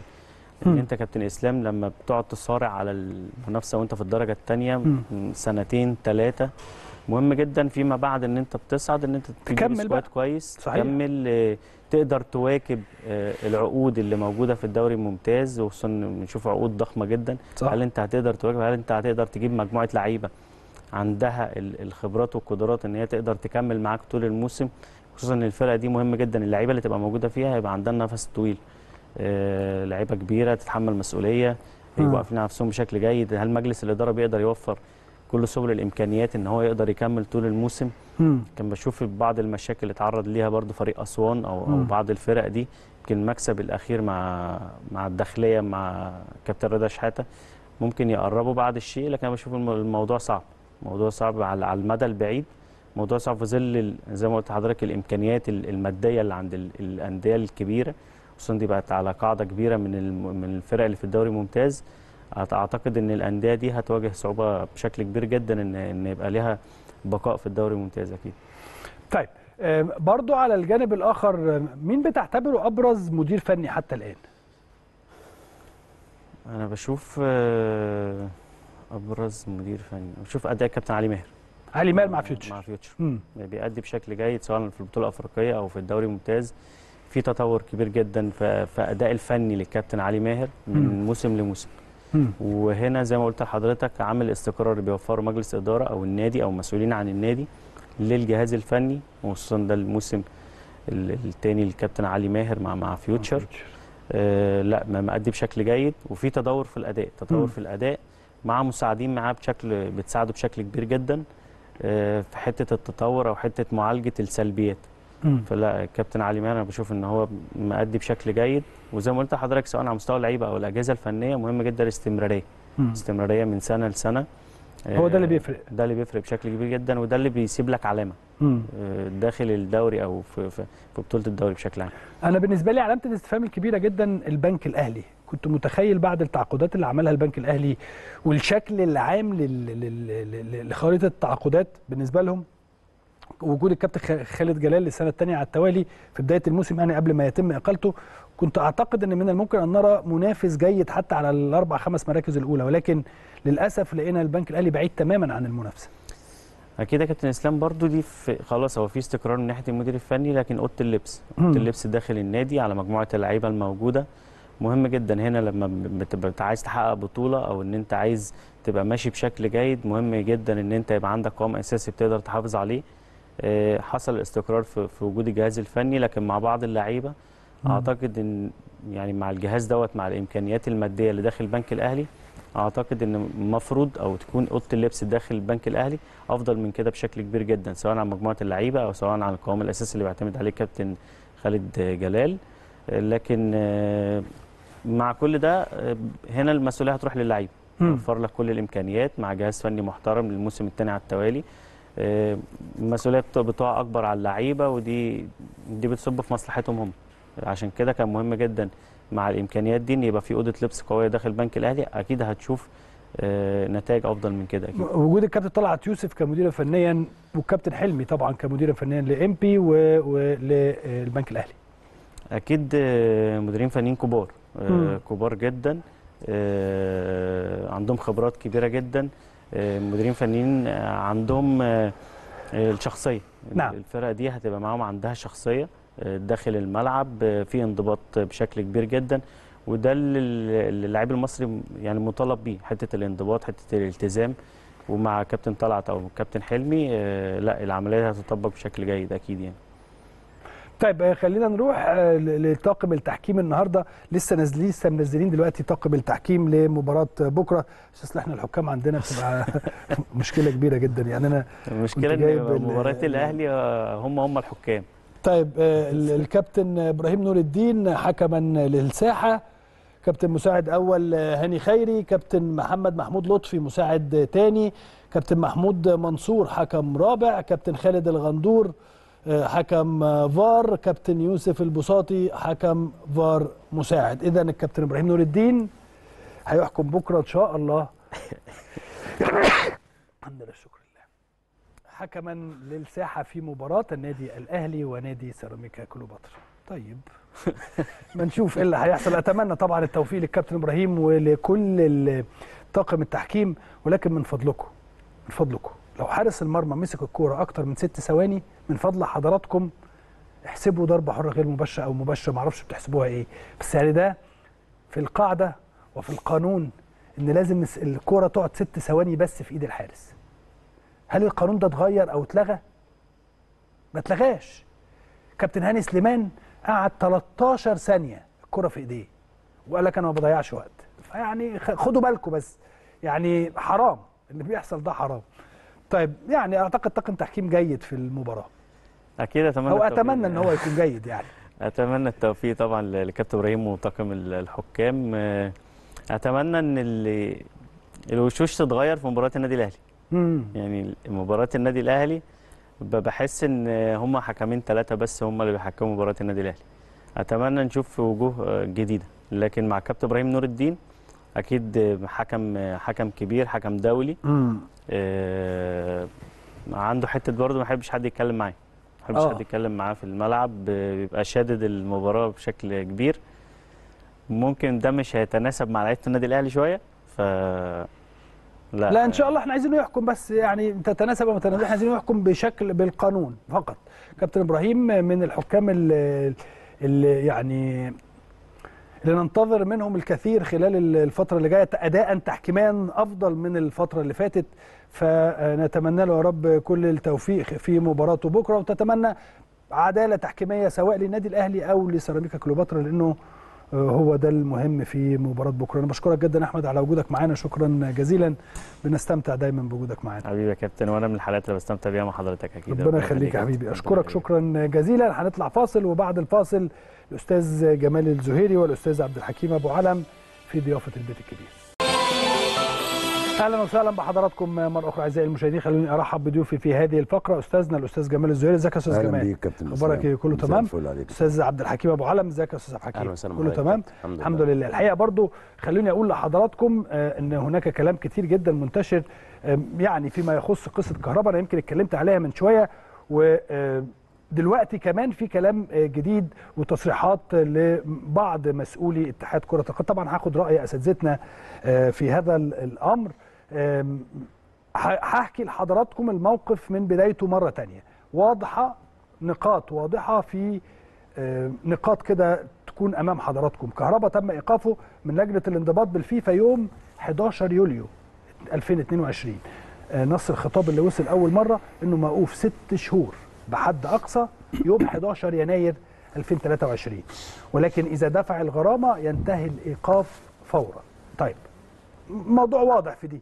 طيب ماذا لو لم يدفع كهرباء الغرامة حتى يوم 11 يناير 2023 الإجابة أنه يحق له المشاركة في المباريات من يوم 12 يناير 2023 آه، إذا لم يصدر أي إجراء جديد من ال- الفيفا وعلى المتضرر اللجوء للجنة الانضباط في الفيفا. طيب وكيف يتم اللجوء للجنة الانضباط في الفيفا؟ المتضرر في ذلك الوقت هيعمل إيه؟ يوم 12 هيروح يقول لهم ده ما دفعليش الفلوس. طيب لجنة الانضباط هتعمل إيه؟ ح... لجنة الانضباط هتنظر في هذا الموضوع بعد نهاية ثلاث فترات قيد متتالية. نهاية نهاية الفترات دي هيبقى الصيف القادم. يعني إيه؟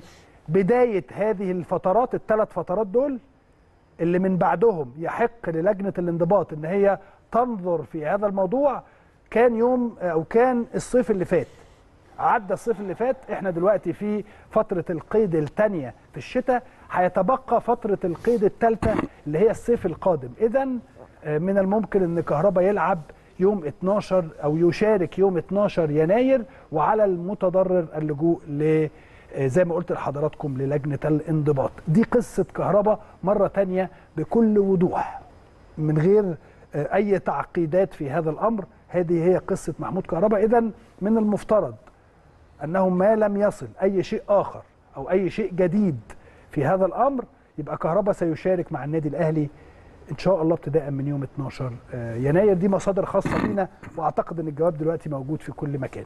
أستاذ جمال أستاذ عبد الحكيم أعتقد الموضوع واضح موضوع كهرباء دلوقتي. أنت حضرتك شرحته طبعا بشكل واضح جدا. هي الفكرة بس هنا إنه كل الأخبار اللي إحنا بنقراها طالعة على لسان مصدر مسؤول أو مصدر مش عارف خلاص أصل الجواب نزل. لا ده أنا بقول يعني لو يا جماعة لو نقدر نحط ليه الجواب اتحاد نحطه. الكورة نفسه ما يطلعش بشكل برضه نرجع تاني. يعني لازم بس عامر يكون- حسين طلع. أيوه ما هو طلع بشكل شخصي. حسين طلع؟ آه طلع في. تصريحات طلع بشكل النهاية. شخصي. أوكي. إحنا النهارده بنتعامل مع هذه الأمور على إنها أمور رسمية. ما هياش وجهات نظر. صحيح. حتى لو هي لو لو جت على لسان الحاج عامر حسين لكن يجب على اتحاد الكورة إن هو يرسل هذا بشكل واضح ويعلنه وكمان يفسره لو عنده تفسير. بدل ما يسيب الناس كل واحد بيجتهد أو الناس كلها بتجتهد في تفسير ال- المعنى. صحيح يعني صحيح. أنا دي وجهة نظري. صحيح. إنما غير كده يبقى بلبلة وكلام ممكن كل واحد يجتهد ويقول رأيه. وهي مسألة قانونية ما هياش ما هياش وجهات نظر يعني. فدي وجهة نظري في الموضوع يعني إنه لابد من خروج شيء رسمي من الاتحاد واضح مش مش على لسان حد. ده بيان من الاتحاد المصري لكرة القدم. طيب آخد رأيك برضه يا أستاذ الحكيم في هذا الأمر. بص أنا هتكلم في ثلاث نقط في الموضوع ده اتفضل. يمكن ما حدش اتكلم فيهم قبل اتفضل. كده النقطة الأولانية اتحاد الكرة هيعمل إيه؟ اتحاد الكرة بعت النهارده استفسار من الفيفا من الاتحاد الدولي لكره القدم بيقول لهم قولوا لنا العقوبة بتاعت كهرباء هتخلص إمتى بشكل واضح وصريح. طيب هل كهرباء عقوبتها هتنتهي 11 يناير فعلا؟ وهل في واقعه مماثلة حصلت؟ في واقعه يمكن ما حدش واخد باله منها كابتن إسلام؟ وعلى فكرة النادي الأهلي كان طرف فيها. وقعه الايفواري سليمان كولو- كولوبالي اللي آه، مشي من النادي الأهلي وفسخ عقده من جانب واحد والأهلي اشتكى للاتحاد الدولي وحصل على حكم. صحيح. بس ده عشان ده فيه خلي بالك الغرامة مقصر بي- بيتم تقسيطها. لا بس اللاعب لعب مع النجم بدون دفع الغرامة. أوكي. بعد انتهاء الايقاف وبعدين اتوقف. راح الأهلي ما هو ده اللي بيأكد نفس النظام اللي المفروض يتعمل. راح الأهلي مقدم شكوى تانية وقال لهم اللاعب لعب بدون ما يدفع الفلوس. هو استنى النجم. ثلاث فترات قيد. فاستنى وراح واخد حكم عليهم اللي إحنا دلوقتي تسدد منهم قسطين. فدي واقعة مماثلة لواقعة كهرباء إن اللاعب لعب والأهلي راح رفع قضية تاني تمام؟ ودي إجراءات اتحاد دولي يعني دي واقعة واضحة. طيب في حاجة ثالثه هتحصل قريب جدا. كهرباء هيلجأ للقضاء المدني ضد تزوير توثيق عقده في اتحاد الكورة. تمام. تزوير توثيق عقده. الكلام ده اتقال من فترة. آه بس هو واخد خطوات في الموضوع ومتكلم مع محامي فعلا. آه هيمشي في السكة دي بس بعد ما يشوف قصة الغرامة هتبقى إزاي طيب. وهيمشي في في القصة دي. آه فبالتالي خلينا ننتظر إيه اللي هيحصل ولكن حتى الآن مرة تانية بقول لحضراتكم إنه كهربا من المفترض إن هو دي م- النادي الأهلي على فكرة ليس طرفا ده في الأهلي هذا بره. الموضوع خالص آه طبعا الأهلي الأهلي بره الموضوع بره تماما ملوش الموضوع إحنا بنتكلم كل واحد فينا من مصادره وكل واحد فينا من آه، من آه، أصدقائه يعني اللي بيقدروا يشرحوا لا الأمور. كصحفيين لكن النادي الأهلي. ليس له علاقة الحاجة الوحيدة اللي تربط الأهلي بالموضوع إن اللاعب مقيد في النادي الأهلي غير صحيح. كده لا القضية دي كلها برمتها الاهلي مش طرف فيها ليس- الأهلي بيحترم ال ال ال ال القضية ككل ويعني مش هيقدر بس. كويس حضرتك كابتن إسلام آه. معلش آه. كلامك إنك ذكرت الجملة دي لأن في تسويف بيحصل في الموضوع. آه يقول لك أصل النادي الأهلي قال كده. لا النادي الأهلي بره الأهلي حتى لما اتعاقد مع اللاعب آه. اتعاقد معاه وقال له يعني هو فسخ عقده. قال له لا هات لي هات لي ورقة تثبت إن النادي أفيس البرتغالي فسخ عقدك قبل ما اتعاقد معاك. صح. يعني عشان تأكد إن الاهلي لاعب فاسخ عقده الاهلي بره الموضوع تماما ودي حتة يمكن حضرتك كويس جدا اتكلمت فيها عشان تبقى واضحه للناس إن ما يحصلش تسويف ونحط اسم النادي الأهلي في جملة مفيدة مش طرف يعني لا لا. النادي الأهلي ليس طرفا إحنا بنتكلم بما إننا يعني إعلاميين وصحفيين والناس تقدر عندها مصادرها اللي تقدر تشوفها وكمان الجواب موجود دلوقتي في كل على موجود، ال social media. ومن الصبح تقريبا يعني موجود في كل مكان. المواقع الإلكترونية منشور آه ومنشور وبتاع طيب فنتمنى إن الموضوع ده ينتهي الحقيقة لأنه كهربا من اللاعبين اللي ممكن يستفيد منهم النادي الأهلي إن شاء الله. 100%. أو نتمنى إن هو يستفيد منهم النادي الأهلي خلال الفترة القادمة. عندنا مباراة صعبة مباراة مهمة أمام آه، سيراميكا كليوباترا في ظل تذبذب أداء النادي الأهلي خلال الفترة الأخيرة. خلينا نقول تذبذب يعني. رأيك في مباراة بكرة إيه؟ طبعا هي مباراة زي ما بقول كل مرة إن جميع مباريات النادي الأهلي هي مباريات كؤوس. نعم. لأن النادي الأهلي مش بيلعب المباريات وعنده اوبشنز أو رفاهية اختيارات يعني إن هو يكسب أو يتعادل أو يتغلب. النادي الأهلي بيلعب للفوز. وبالتالي أي مباراة بيلعبها النادي الأهلي بيبقى حاطط عينه على الثلاث نقط. صحيح. لأن دول هيأثروا أي فقدان لنقط بيأثر على مشواره في المنافسة على البطولة أو استعادة اللقب مرة أخرى. فهي مباراة طبعا مهمة جدا. آه، أمام فريق آه، بجهازه الفني الجديد كابتن أحمد سامي. أحمد سامي موجود من أول الموسم نعم. موجود من لا أنا. أقصد يعني مش هو اللي كان موجود لا لا ما كانش موجود السنة اللي عدت يعني. هو بدأ من بداية الموسم. آه و- وبرضو الفريق يعني متعثر شوية في الماتشات بتاعته. النتائج بتاعته مش على المستوى المطلوب وب- وبيجي أكيد هيجي قدام النادي الأهلي وهيحاول برضو بيلعب بنفس الأسلوب اللي هو التكتل الدفاعي وخطف فرصة فده بيصعب المسؤولية المأمورية على فريق النادي الأهلي. آه نيجي بقى نقول بقى المستوى المتذبذب. فعلا لازم نعترف إنه فرقة النادي الأهلي محتاجة إلى استفاقة. صحيح. يعني إحنا كنا بنقول قبل كده آه، آه، آه، يعني استعادة المستويات.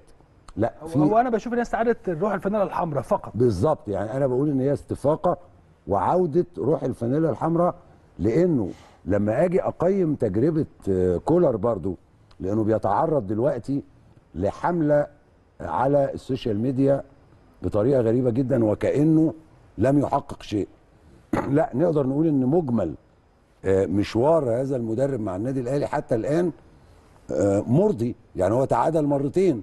مش كده؟ غير. كده غير كده هو متصدر الدوري. متصدر الدوري. فالمسألة يعني آه قد تكون مخيفة طبعا و- ومقلقة لجماهير النادي الأهلي وده أمر طبيعي على فكرة لكن إحنا كمان بنطالب جمهور النادي الأهلي إنه آه، آه، يؤي يعني يساند بقوة الفريق. طبعا. مع مع احترامنا لوجهات نظر الجميع كل من يقول أن هناك عيوب وسلبيات محدش يقدر ينكر هذا الكلام. صحيح. لكن إن شاء الله في طريقها للإصلاح وإن شاء الله يكون فترة الانتقالات الشتوية بإذن الله الميركاتو يبقى فيه تدعيم لصفوف الفريق لأنه القصة مش بس الدوري أنت عندك كمان داخل على كأس العالم للأندية دلوقتي بقى حاجة جديدة قدامك. لابد إن أنت آه، آه، تعمل كل جهدك عشان آه، تسد الثغرات إذا كان هناك أو تلبي احتياجات المدير الفني. كابتن الخطيب أعتقد اجتمع مع الجهاز الفني ومع ال- ال- المدير الفني تحديدا عشان يتعرف منه على احتياجاته للمرحلة القادمة إن شاء الله يعني وأنا بطمن حضراتكم على الهواء مباشرة أهو إنه يعني انتظروا أخبار جيدة خلال الفترة مش جيدة بس دون تفاصيل يعني لا ما أنا يعني مش هقدر أتكلم في تفاصيل أيوة طالما طبعاً. لم يتم الإعلام الإعلان عنها. من قبل النادي الأهلي انتظروا أخبار آه بس إحنا لازم نؤكد على آه إن إحنا. بنشارك نعم آه، الجماهير طبعا قلقها طبعا. لأنه آه، بعض الناس بيحاولوا دلوقتي يقولوا إيه يعني يعني أنتوا مش حاسين بينا لأ إحنا حاسين كويس طبعا قوي بنشارك ولكن يمكن إحنا. شايفين الموضوع آه، في النهاية إحنا جماهير وبنتفرج برضو لا وشايفين الموضوع من زاوية أخرى يعني آه. إحنا بنبقى شايفين برضو بس إحنا بنحاول. نتماسك أكتر. ونقدم الصورة بشكل صحيح. أفضل مش هنقعد نتكلم أي كلام يعني صحيح أعرف رأيك برضو يا أستاذ عبد الحكيم. آه، بص يا كابتن ماتش سيراميكا تعالى نقسمه لنقطتين. لغة الأرقام لغة الأرقام بتقول لك إن سيراميكا والأهلي آه، سيراميكا لعب تسع مباريات الفرقتين لعبوا تسع مباريات. الأهلي فاز في سبعة سيراميكا فاز في ثلاثة التعادل كل فريق كسب تعادل ماتشين الأهلي لم يخسر الحمد لله. سيراميكا خسر آه، أربع مباريات. الاهلي مسجل 16 هدف سيراميكا مسجل 12 هدف ويمكن ده آه الموسم ده يعني. الموسم ده آه. الاهلي آه، دخل في مرماه أربع اهداف سيراميكا دخل في مرماه 12 هدف برضو. الميزة اللي عند سيراميكا يا كابتن ان هم الاهداف دي مسجلها تسع لاعبين. بمعنى ان في تسع لاعبين في الفريق عندهم بيعرفوا يسجلوا اهداف. في ميزة تانية في سيراميكا كليوباترا انه بيعرف يلعب قدام النادي الاهلي كويس جدا وبيعرف يلعب قدام الفرق الكبيرة كويس جدا. إن مدربه أحمد سامي بيجيد الحتة دي.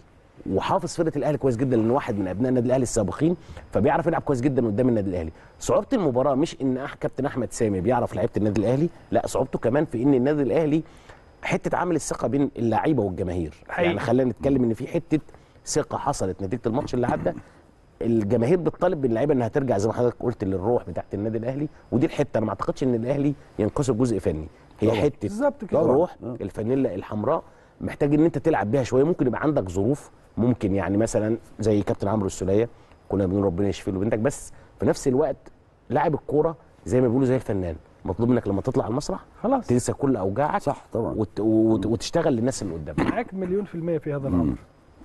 طيب خلينا نطلع نشوف تقرير عن مواجهة كولر وأحمد سامي وأحمد سامي ونرجع نكمل. دايما خلال الفترة اللي فاتت يا أستاذ جمال بنتكلم عن تطوير التحكيم. نعم. الأزمات اللي حضراتكم شايفينها خلال اليومين ثلاثة أو الأسبوع اللي فات أو العشر أيام اللي فاتوا هل هذا المناخ يساعد على تطوير التحكيم هو في ظل موجود. آه، مناخ سيء جدا الحقيقة؟ شوف هو موجود آه، بوادر من أول ما جه كلاتنبرج أفضل من ال- الأوضاع السابقة. أوكي. بلا شك.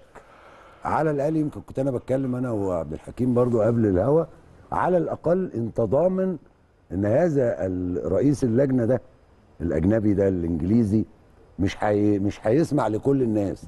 مش هيتزن عليه. بمعنى آخر.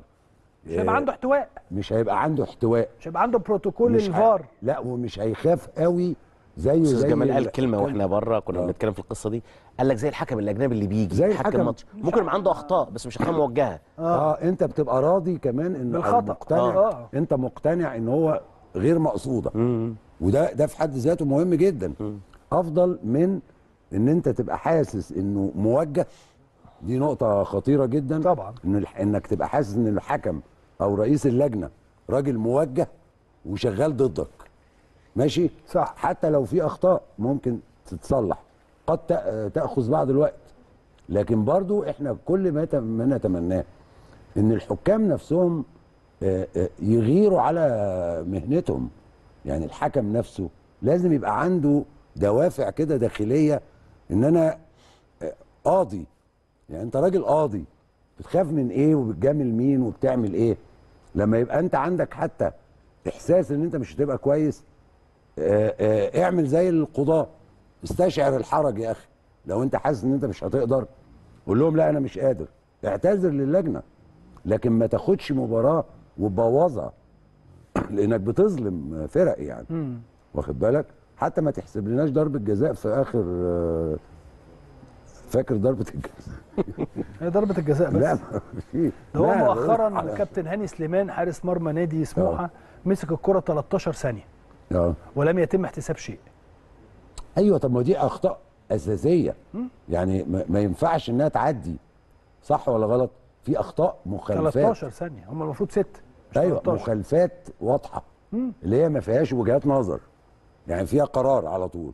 فطبعا الحاجات دي كلها مهمة بس أنا بشوف برضو إنه الوضع الحالي أفضل بكتير من إنه الراجل ده يط- يطفشوه فيجي حد بداله يرجع نرجع للسيرة زمن. الاحتواء تاني. يرجع آه هو ده اللي إحنا بنقوله. آه ما يعني أنا شايف إن وجهة نظري يمكن يمكن يكون في شوية الدنيا مش واضحة لكن آه. ممكن في يعني. ممكن يكون الراجل بيرتب البيت. ليه ما نقولش مثلا كابتن أحمد أبو العلا الراجل مش راضي عن أدائه فقال له آه. السلام عليكم. يعني ممكن ناخدها في الحتة دي. في أخطاء في أخطاء طبعا. اللي عارف في الكواليس يعرف إن لا مش ده اللي حصل. أوكي ب- بس في أخطاء. تمام في أخطاء. الماتش الأخير ده. الماتش الأخير ده يعني أنت بتبص الفريق بيقع الكرة تطلع أوت تروح واقع. طب. الحكم يروح حاسب لك. أربع دقائق ده أنت لو حسبت الوقت ده الكرة كانت واضحة. لو حسبت الدقائق اللي بيقع فيها اللعيبة ممكن توصل ل 12 13 دقيقة.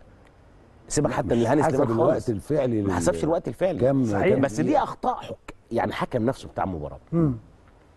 إحنا نتمنى إن التجربة تنجح بغض النظر عن التفاصيل التانية. مم. بغض النظر عن استقالة أو حد يمشي أو حد يروح نتمنى نتمنى إن يكون في دعم للتجربة إنها تنجح. لأن إحنا بصراحة زهقنا من زمن الاحتواء. زهقنا من اللي حصل السنتين اللي عدوا. طيب خلينا نروح لأزمة برضو منتخب الشباب. منتخب الشباب أزمات كثيرة جدا تحيط بهذا المنتخب ومن المفترض إن هذا المنتخب هو آه، النواه القادمه لمنتخب مصر الأول. طبعا مفيش شك إنه الاهتمام بالمنتخبات ده مش مهمه أي حد تاني غير اتحاد الكورة. صحيح. يعني المفروض اتحاد الكورة هو المسؤول الأول والأخير. مم. إذا قلنا إن اتاخد منهم الدوري بقى تبع الرابطة خلاص يبقى ما عندكش أنت غير المنتخب وكل المنتخبات إحنا شفناها بتعاني. فما أعرفش إيه, إيه, إيه دور الاتحاد في الاهتمام بالمنتخبات. ودايما يا كابتن إسلام بنقول بنفتكر إن عشان يبقى عندك منتخب أول قوي وكويس لازم يبقى عندك منتخبات المراحل السنية ماشية بفلسفة ودماغ معينة. حد بيفكر الدنيا هتوصل لإيه؟ لإن هم دول الوقود بتاع المنتخب الأول فيما أيوة. بعد مظبوط غير كده يبقى أنت مش بتشتغل على أساس علمي أنت. بتشتغل كده بالبركة مشيت معاك أهلا وسهلا وهنفتكر برضو إنه أيام حسن شحاتة الله يمسيه بالخير كان تفوقه هو وشوقي غريب في المنتخبات الناشئين الشباب يعني ووصولهم لكأس العالم وفوزهم ببطولة أفريقيا كان هو البداية إن هم يتجمعوا مع بعض مع المنتخب الأول ويحققوا لنا 2006 8 2006 لغاية 2010 آه، هل هناك اهتمام حقيقي بمنتخب الشباب يا حكيم يعني؟ آه، هل هو ظالم أم مظلوم؟ الحقيقة الجهاز الفني برضو الحقيقة من وجهة نظري بيخطئ أخطاء واضحة. يعني كان في دورة عايزين يلعبوها وبعد رجع قال لك لأ لما لقى الفرق المنتخبات قوية قال لك لأ طب عايزين نلعب زامبيا فزامبيا قالت لهم لأ خلاص شكرا أنتوا قلتوا لنا قبل كده وبعدين خلاص. فراحوا لعبوا غانا للمحليين اتغلبوا 2-0 النهارده والمدير الفني طلع يقول إن الأداء جيد. أنا كنت موجود في الماتش بتاع خد بال حضرتك يا كابتن منتخب غانا المحليين ده ده المنتخب الثاني بعد المنتخب الأول في غانا. أوكي. وجاي منهم الثلاثه لعيبة اللي كانوا موجودين بيشاركوا في القائمه الأساسية لكأس العالم اللي بتتلعب في قطر. آه. فهي أنا وجهة نظري هي تجربة كويسة جدا. حلو. وإن أنت تغامر وتلاعب منتخب بخلاف الأعمار السنية بتاعتك لأن ده لا، منتخب ده هو أجبر على كده على فكرة عشان ما كانش فيه ماتشات أخرى. مفيش آه. لا لا لا وفي دورة هيلعبوها قبل ال- قبل البطولة من مع فرقتين تانيين مش في مش في مجموعتك. يعني البطوله اتلغت الدورة دي. لا لا لا لا هتتلعب قبل البطولة. هتتلعب؟ هتتلعب في المعسكر اللي هيبدأ من يوم 20 يناير. آه. تمام؟ هيتلعب. لا دي الدورة دي كان المفروض من أسبوعين واتلغت. ما تفهمش ليه. المنتخبات ما جاتش. المنتخبات ما جاتش. المنتخبات ما جاتش. ليه المنتخبات بقى لعل المنع خير قال لك نأجل نيجي في مرة. يعني أنت زي طبيعي أنت عندك مسابقات نيجي في الفترة دي يعني إيه يا تمام عبد الحكيم المنتخبات ما جاتش مش فاهم. يعني أنا متفق معاك إن أنت تيجي وما تجيش. إيه الكلام ده يا عبد الحكيم؟ ما الكلام ده بجد؟ ما هو ده اللي آه. إحنا بنقوله. لا مش متفق. ما يصحش يا جماعة ما. يصحش الكلام اللي أنت بتقوله ده. لا بص المشاكل مش في الحتة دي على فكرة خالص. الإيه؟ المشاكل مش في الحتة دي. المشاكل إن أنت عندك مثلا إزاي المشاكل مش في الحتة دي؟ يعني إيه المشاكل مش في الحتة دي؟ يعني أنا دلوقتي عامل دورة. بعمل دورة آه. وعامل دورة. ما كانش في دورة يا كابتن. إزاي ما كانش في لا، ما دوره ده. إحنا تم الإعلان عنها يا سيدي وإحنا اتكلمنا عنها من أسبوعين ثلاثة يا كابتن الدورة هتتلعب قبل البطولة. المشاكل في استدعاء لا دي دورة تانية. المشاكل في استدعاء المحترفين. انت عندك. المفروض يبقى عندك مجموعة محترفين محترفين إيه يا موجودين. عم؟ إذا كان المحترفين بيجوا ما بيلعبهمش. أقول لك مش عايز أتكلم على أسماء معينة هي المشكلة في المحترفين. نعم؟ أنا وجهة نظري المشكلة في المحترفين. أوكي. يعني أنت عندك مجموعة قاعدة محترفين بره اللي يمكن القرار اللي طلعه وزير الرياضة ده المفروض نهتم بنعمل قاعدة. يعني أنا شايف إن إحنا المفروض بدل ما إحنا جايبين أربع محترفين بس أو ثلاثة لازم يبقى عندنا على الأقل ستة أو سبعة أو ثمانيه من العناصر اللي موجودة بره نشوفها ده- كويس كان جدا الكابتن محمود بيقول لك إن هم بيلعبوا في أكاديميات.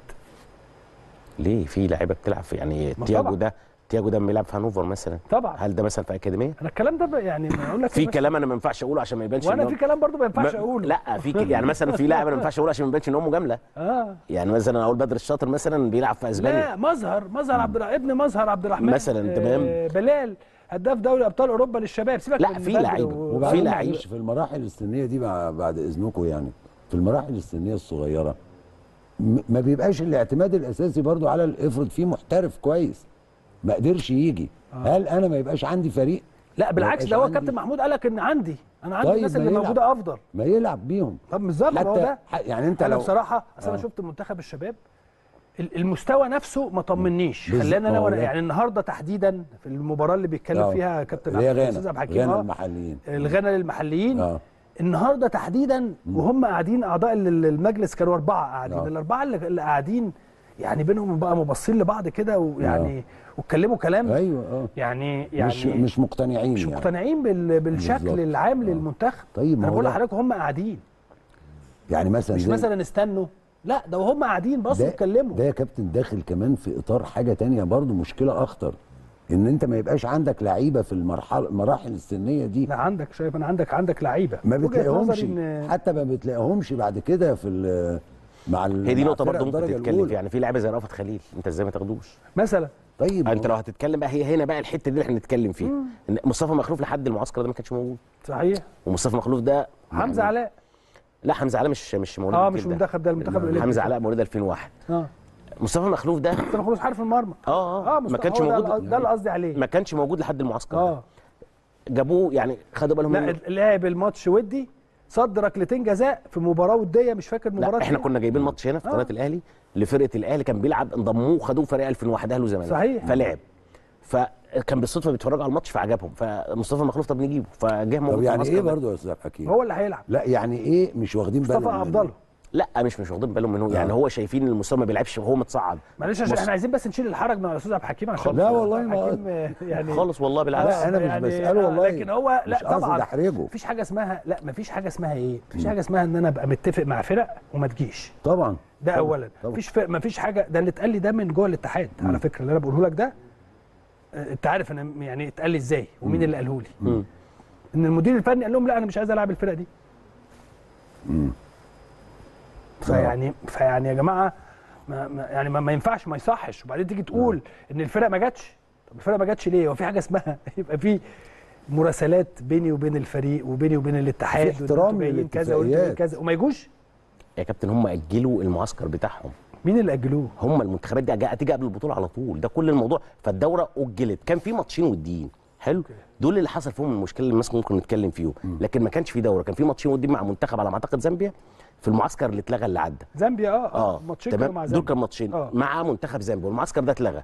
okay. أنا ما أعرفش كواليس هل الموضوع ده مثلا المنتخب اعتذر ما أعرفش. لكن الدورة دي معدة ليها في الأساس قبل انطلاق البطولة في المعسكر الأخير من يوم 20 دي معلوماتي. لو في معلومات تانية أنا ما اعرفهاش أنا بقول لك معلوماتي في الحتة دي. أوكي. لا هو كان لكن أنا على فكرة ما عنديش احراج خالص في أي حاجة. آه لكن أنا بقول لك هو كان في آه ما أنا كنت لسه هسألك هو ليه ليه تحرج ليه يا عبد الحكيم؟ مش عارف عشان لا. صحفي يعني. لا الراجل يعني بريء ما فيش حاجة بريء آه حتى. تثبت إدانته. بريء. حتى تثبت بريء. انت لا أنا أنا بس في النهاية إيه أنا اللي يهمني إن إحنا نظهر بشكل ومستوى جيد لأنه ما ينفعش إن البطولة بتقام على أرضك وما طبعاً، تاخدهاش طبعا. يعني لا لو لو وصلت للمباراة النهائية عارف أنا عارف هيطلعوا يقولوا إيه إنجاز وبتاع ومش عارف إيه لا ما ينفعش. لو وصلت للمباراة النهائية واتغلبت آه. هيبقى عندي مشكلة. أيوه طبعا. إن إن المباراة دي لما بتتلعب البطولة دي لما بتتلعب على أرضك بيبقى من المفترض إن أنت تبقى الأقرب إن أنت بنسبة- تاخدها. بس هو التارجت بتاع البطولة ده كابتن قبل مكسب البطولة تروح كأس كأس عالم العالم طبعا. آه آه آه. ودول على ما أعتقد يعني هي الدنيا صعبة على فكرة برضو الناس ما تفتكرش الدنيا سهلة. هو لو ده لو طلع ثالث بياخدوا أفضل اول أول وثاني وأفضل توالت بالمقارنة بالمنتخبات اللي موجودة يا كابتن الدنيا صعبة. يعني الدنيا عشان بس الناس ما تفهمش. لا للدرجة دي؟ آه الدنيا صعبة. الدنيا صعبة يا كابتن. ما اصل بص لو ما اعترفتش الكرة. الأفريقية تطورت جدا يا كابتن. آه. وده مش معناه ان إحنا المفروض ما ننافسش لا ده انت المفروض تنافس على ما ده اللي البطوله أنا هقوله يعني. انت يعني المفروض لا، تنافس على البطولة. بس انت ال target بتاعك رقم واحد ان انت تكون في ال semi-final عشان تروح كاس عالم. تمام؟ ثم تاخد خطوة ثانية انك تنافس على البطولة. آه طبعا زي ال- زي بطولة ال- زي بطولة الأمم الأفريقية المنتخبات المنتخب الأولمبي. المنتخب الأولمبي يعني برضه وصل للمباراة النهائية ولكن خد هذه البطولة بإيه؟ بسبب الجماهير. مظبوط. اللي هي كانت من سنتين. أيوه يعني توصل لأبعد نقطة. وتكسب لا التارجت بتاعك تكسب. البطولة طبعا ده مليون في المية البطولة على أرضك يبقى ده هدفك يعني هدفك إنك تكسب ما هو زي ما روي فيتوريا برضو مرة قال لك إيه؟ آه. قال لك يا جماعة أنا مش جاي آخد بطولة امم أفريقيا لا أوصل آه. كأس عالم لا أمال جاي تعمل إيه يا عم فاكر لما عمل آه؟ واتكلمنا فيها وطلع بعد كده قال لك لا. وصلح آه. ال- التصريحات بتاعته مظبوط سجلوا له فيديو كده وطلع وقال لك لا أنا ما أقصدش أنا طب أمال أنت جاي أنت جاي النهارده مثلا بتوعد بتستلم المنتخب. انت لو استلمت أو أنا أو كابتن اسلام آه، اول حاجة هيقولها إيه؟ مش إن هو هينافس هو الصعود لكأس العالم 2026 ما بقاش على فكرة معجزة. ما هو عشان تسع. فرق. ده 48 تسعة منتخب. ونص. تسع تسع منتخب يعني 48 منتخب اللي شارك في البطولة بدل 32 فما بقاش جزئية إن التارجت بتاعك إنك تروح كأس عالم. خلاص يعني أنا. أقدر أوعد برضو. يعني أنا لو عايز أنا والله أوعدك إن أنا أوصل كأس عالم 26 مم. يعني مش صعبه قوي يعني. المفروض يعني المفروض إنها مش صعبة قوي عموما خلينا نشوف ونتمنى يا رب كل التوفيق لمنتخب الشباب خلال الفترة القادمة لأنه زي ما قلت لحضراتكم يهمنا أن يظهر هذا المنتخب بشكل جيد ويليق باسم منتخبنا آه، أو باسم منتخب مصر. أنا بشكرك شكرا جزيلا. شكراً كابتن جمال. بشكرك شكرا جزيلا. أستاذ الحكيم أنا بشكر حضراتكم شكرا جزيلا. إن شاء الله بكرة مباراة النادي الأهلي ونادي سيراميكا كليوباترا الساعة 7 قبل المباراة دايما بساعتين بنكون مع حضراتكم على الهواء مباشرة في الاستوديو التحليلي وكابتن أيمن شوقي. أنا بشكر حضراتكم شكرا جزيلا. إن شاء الله أشوف حضراتكم بكرة على خير.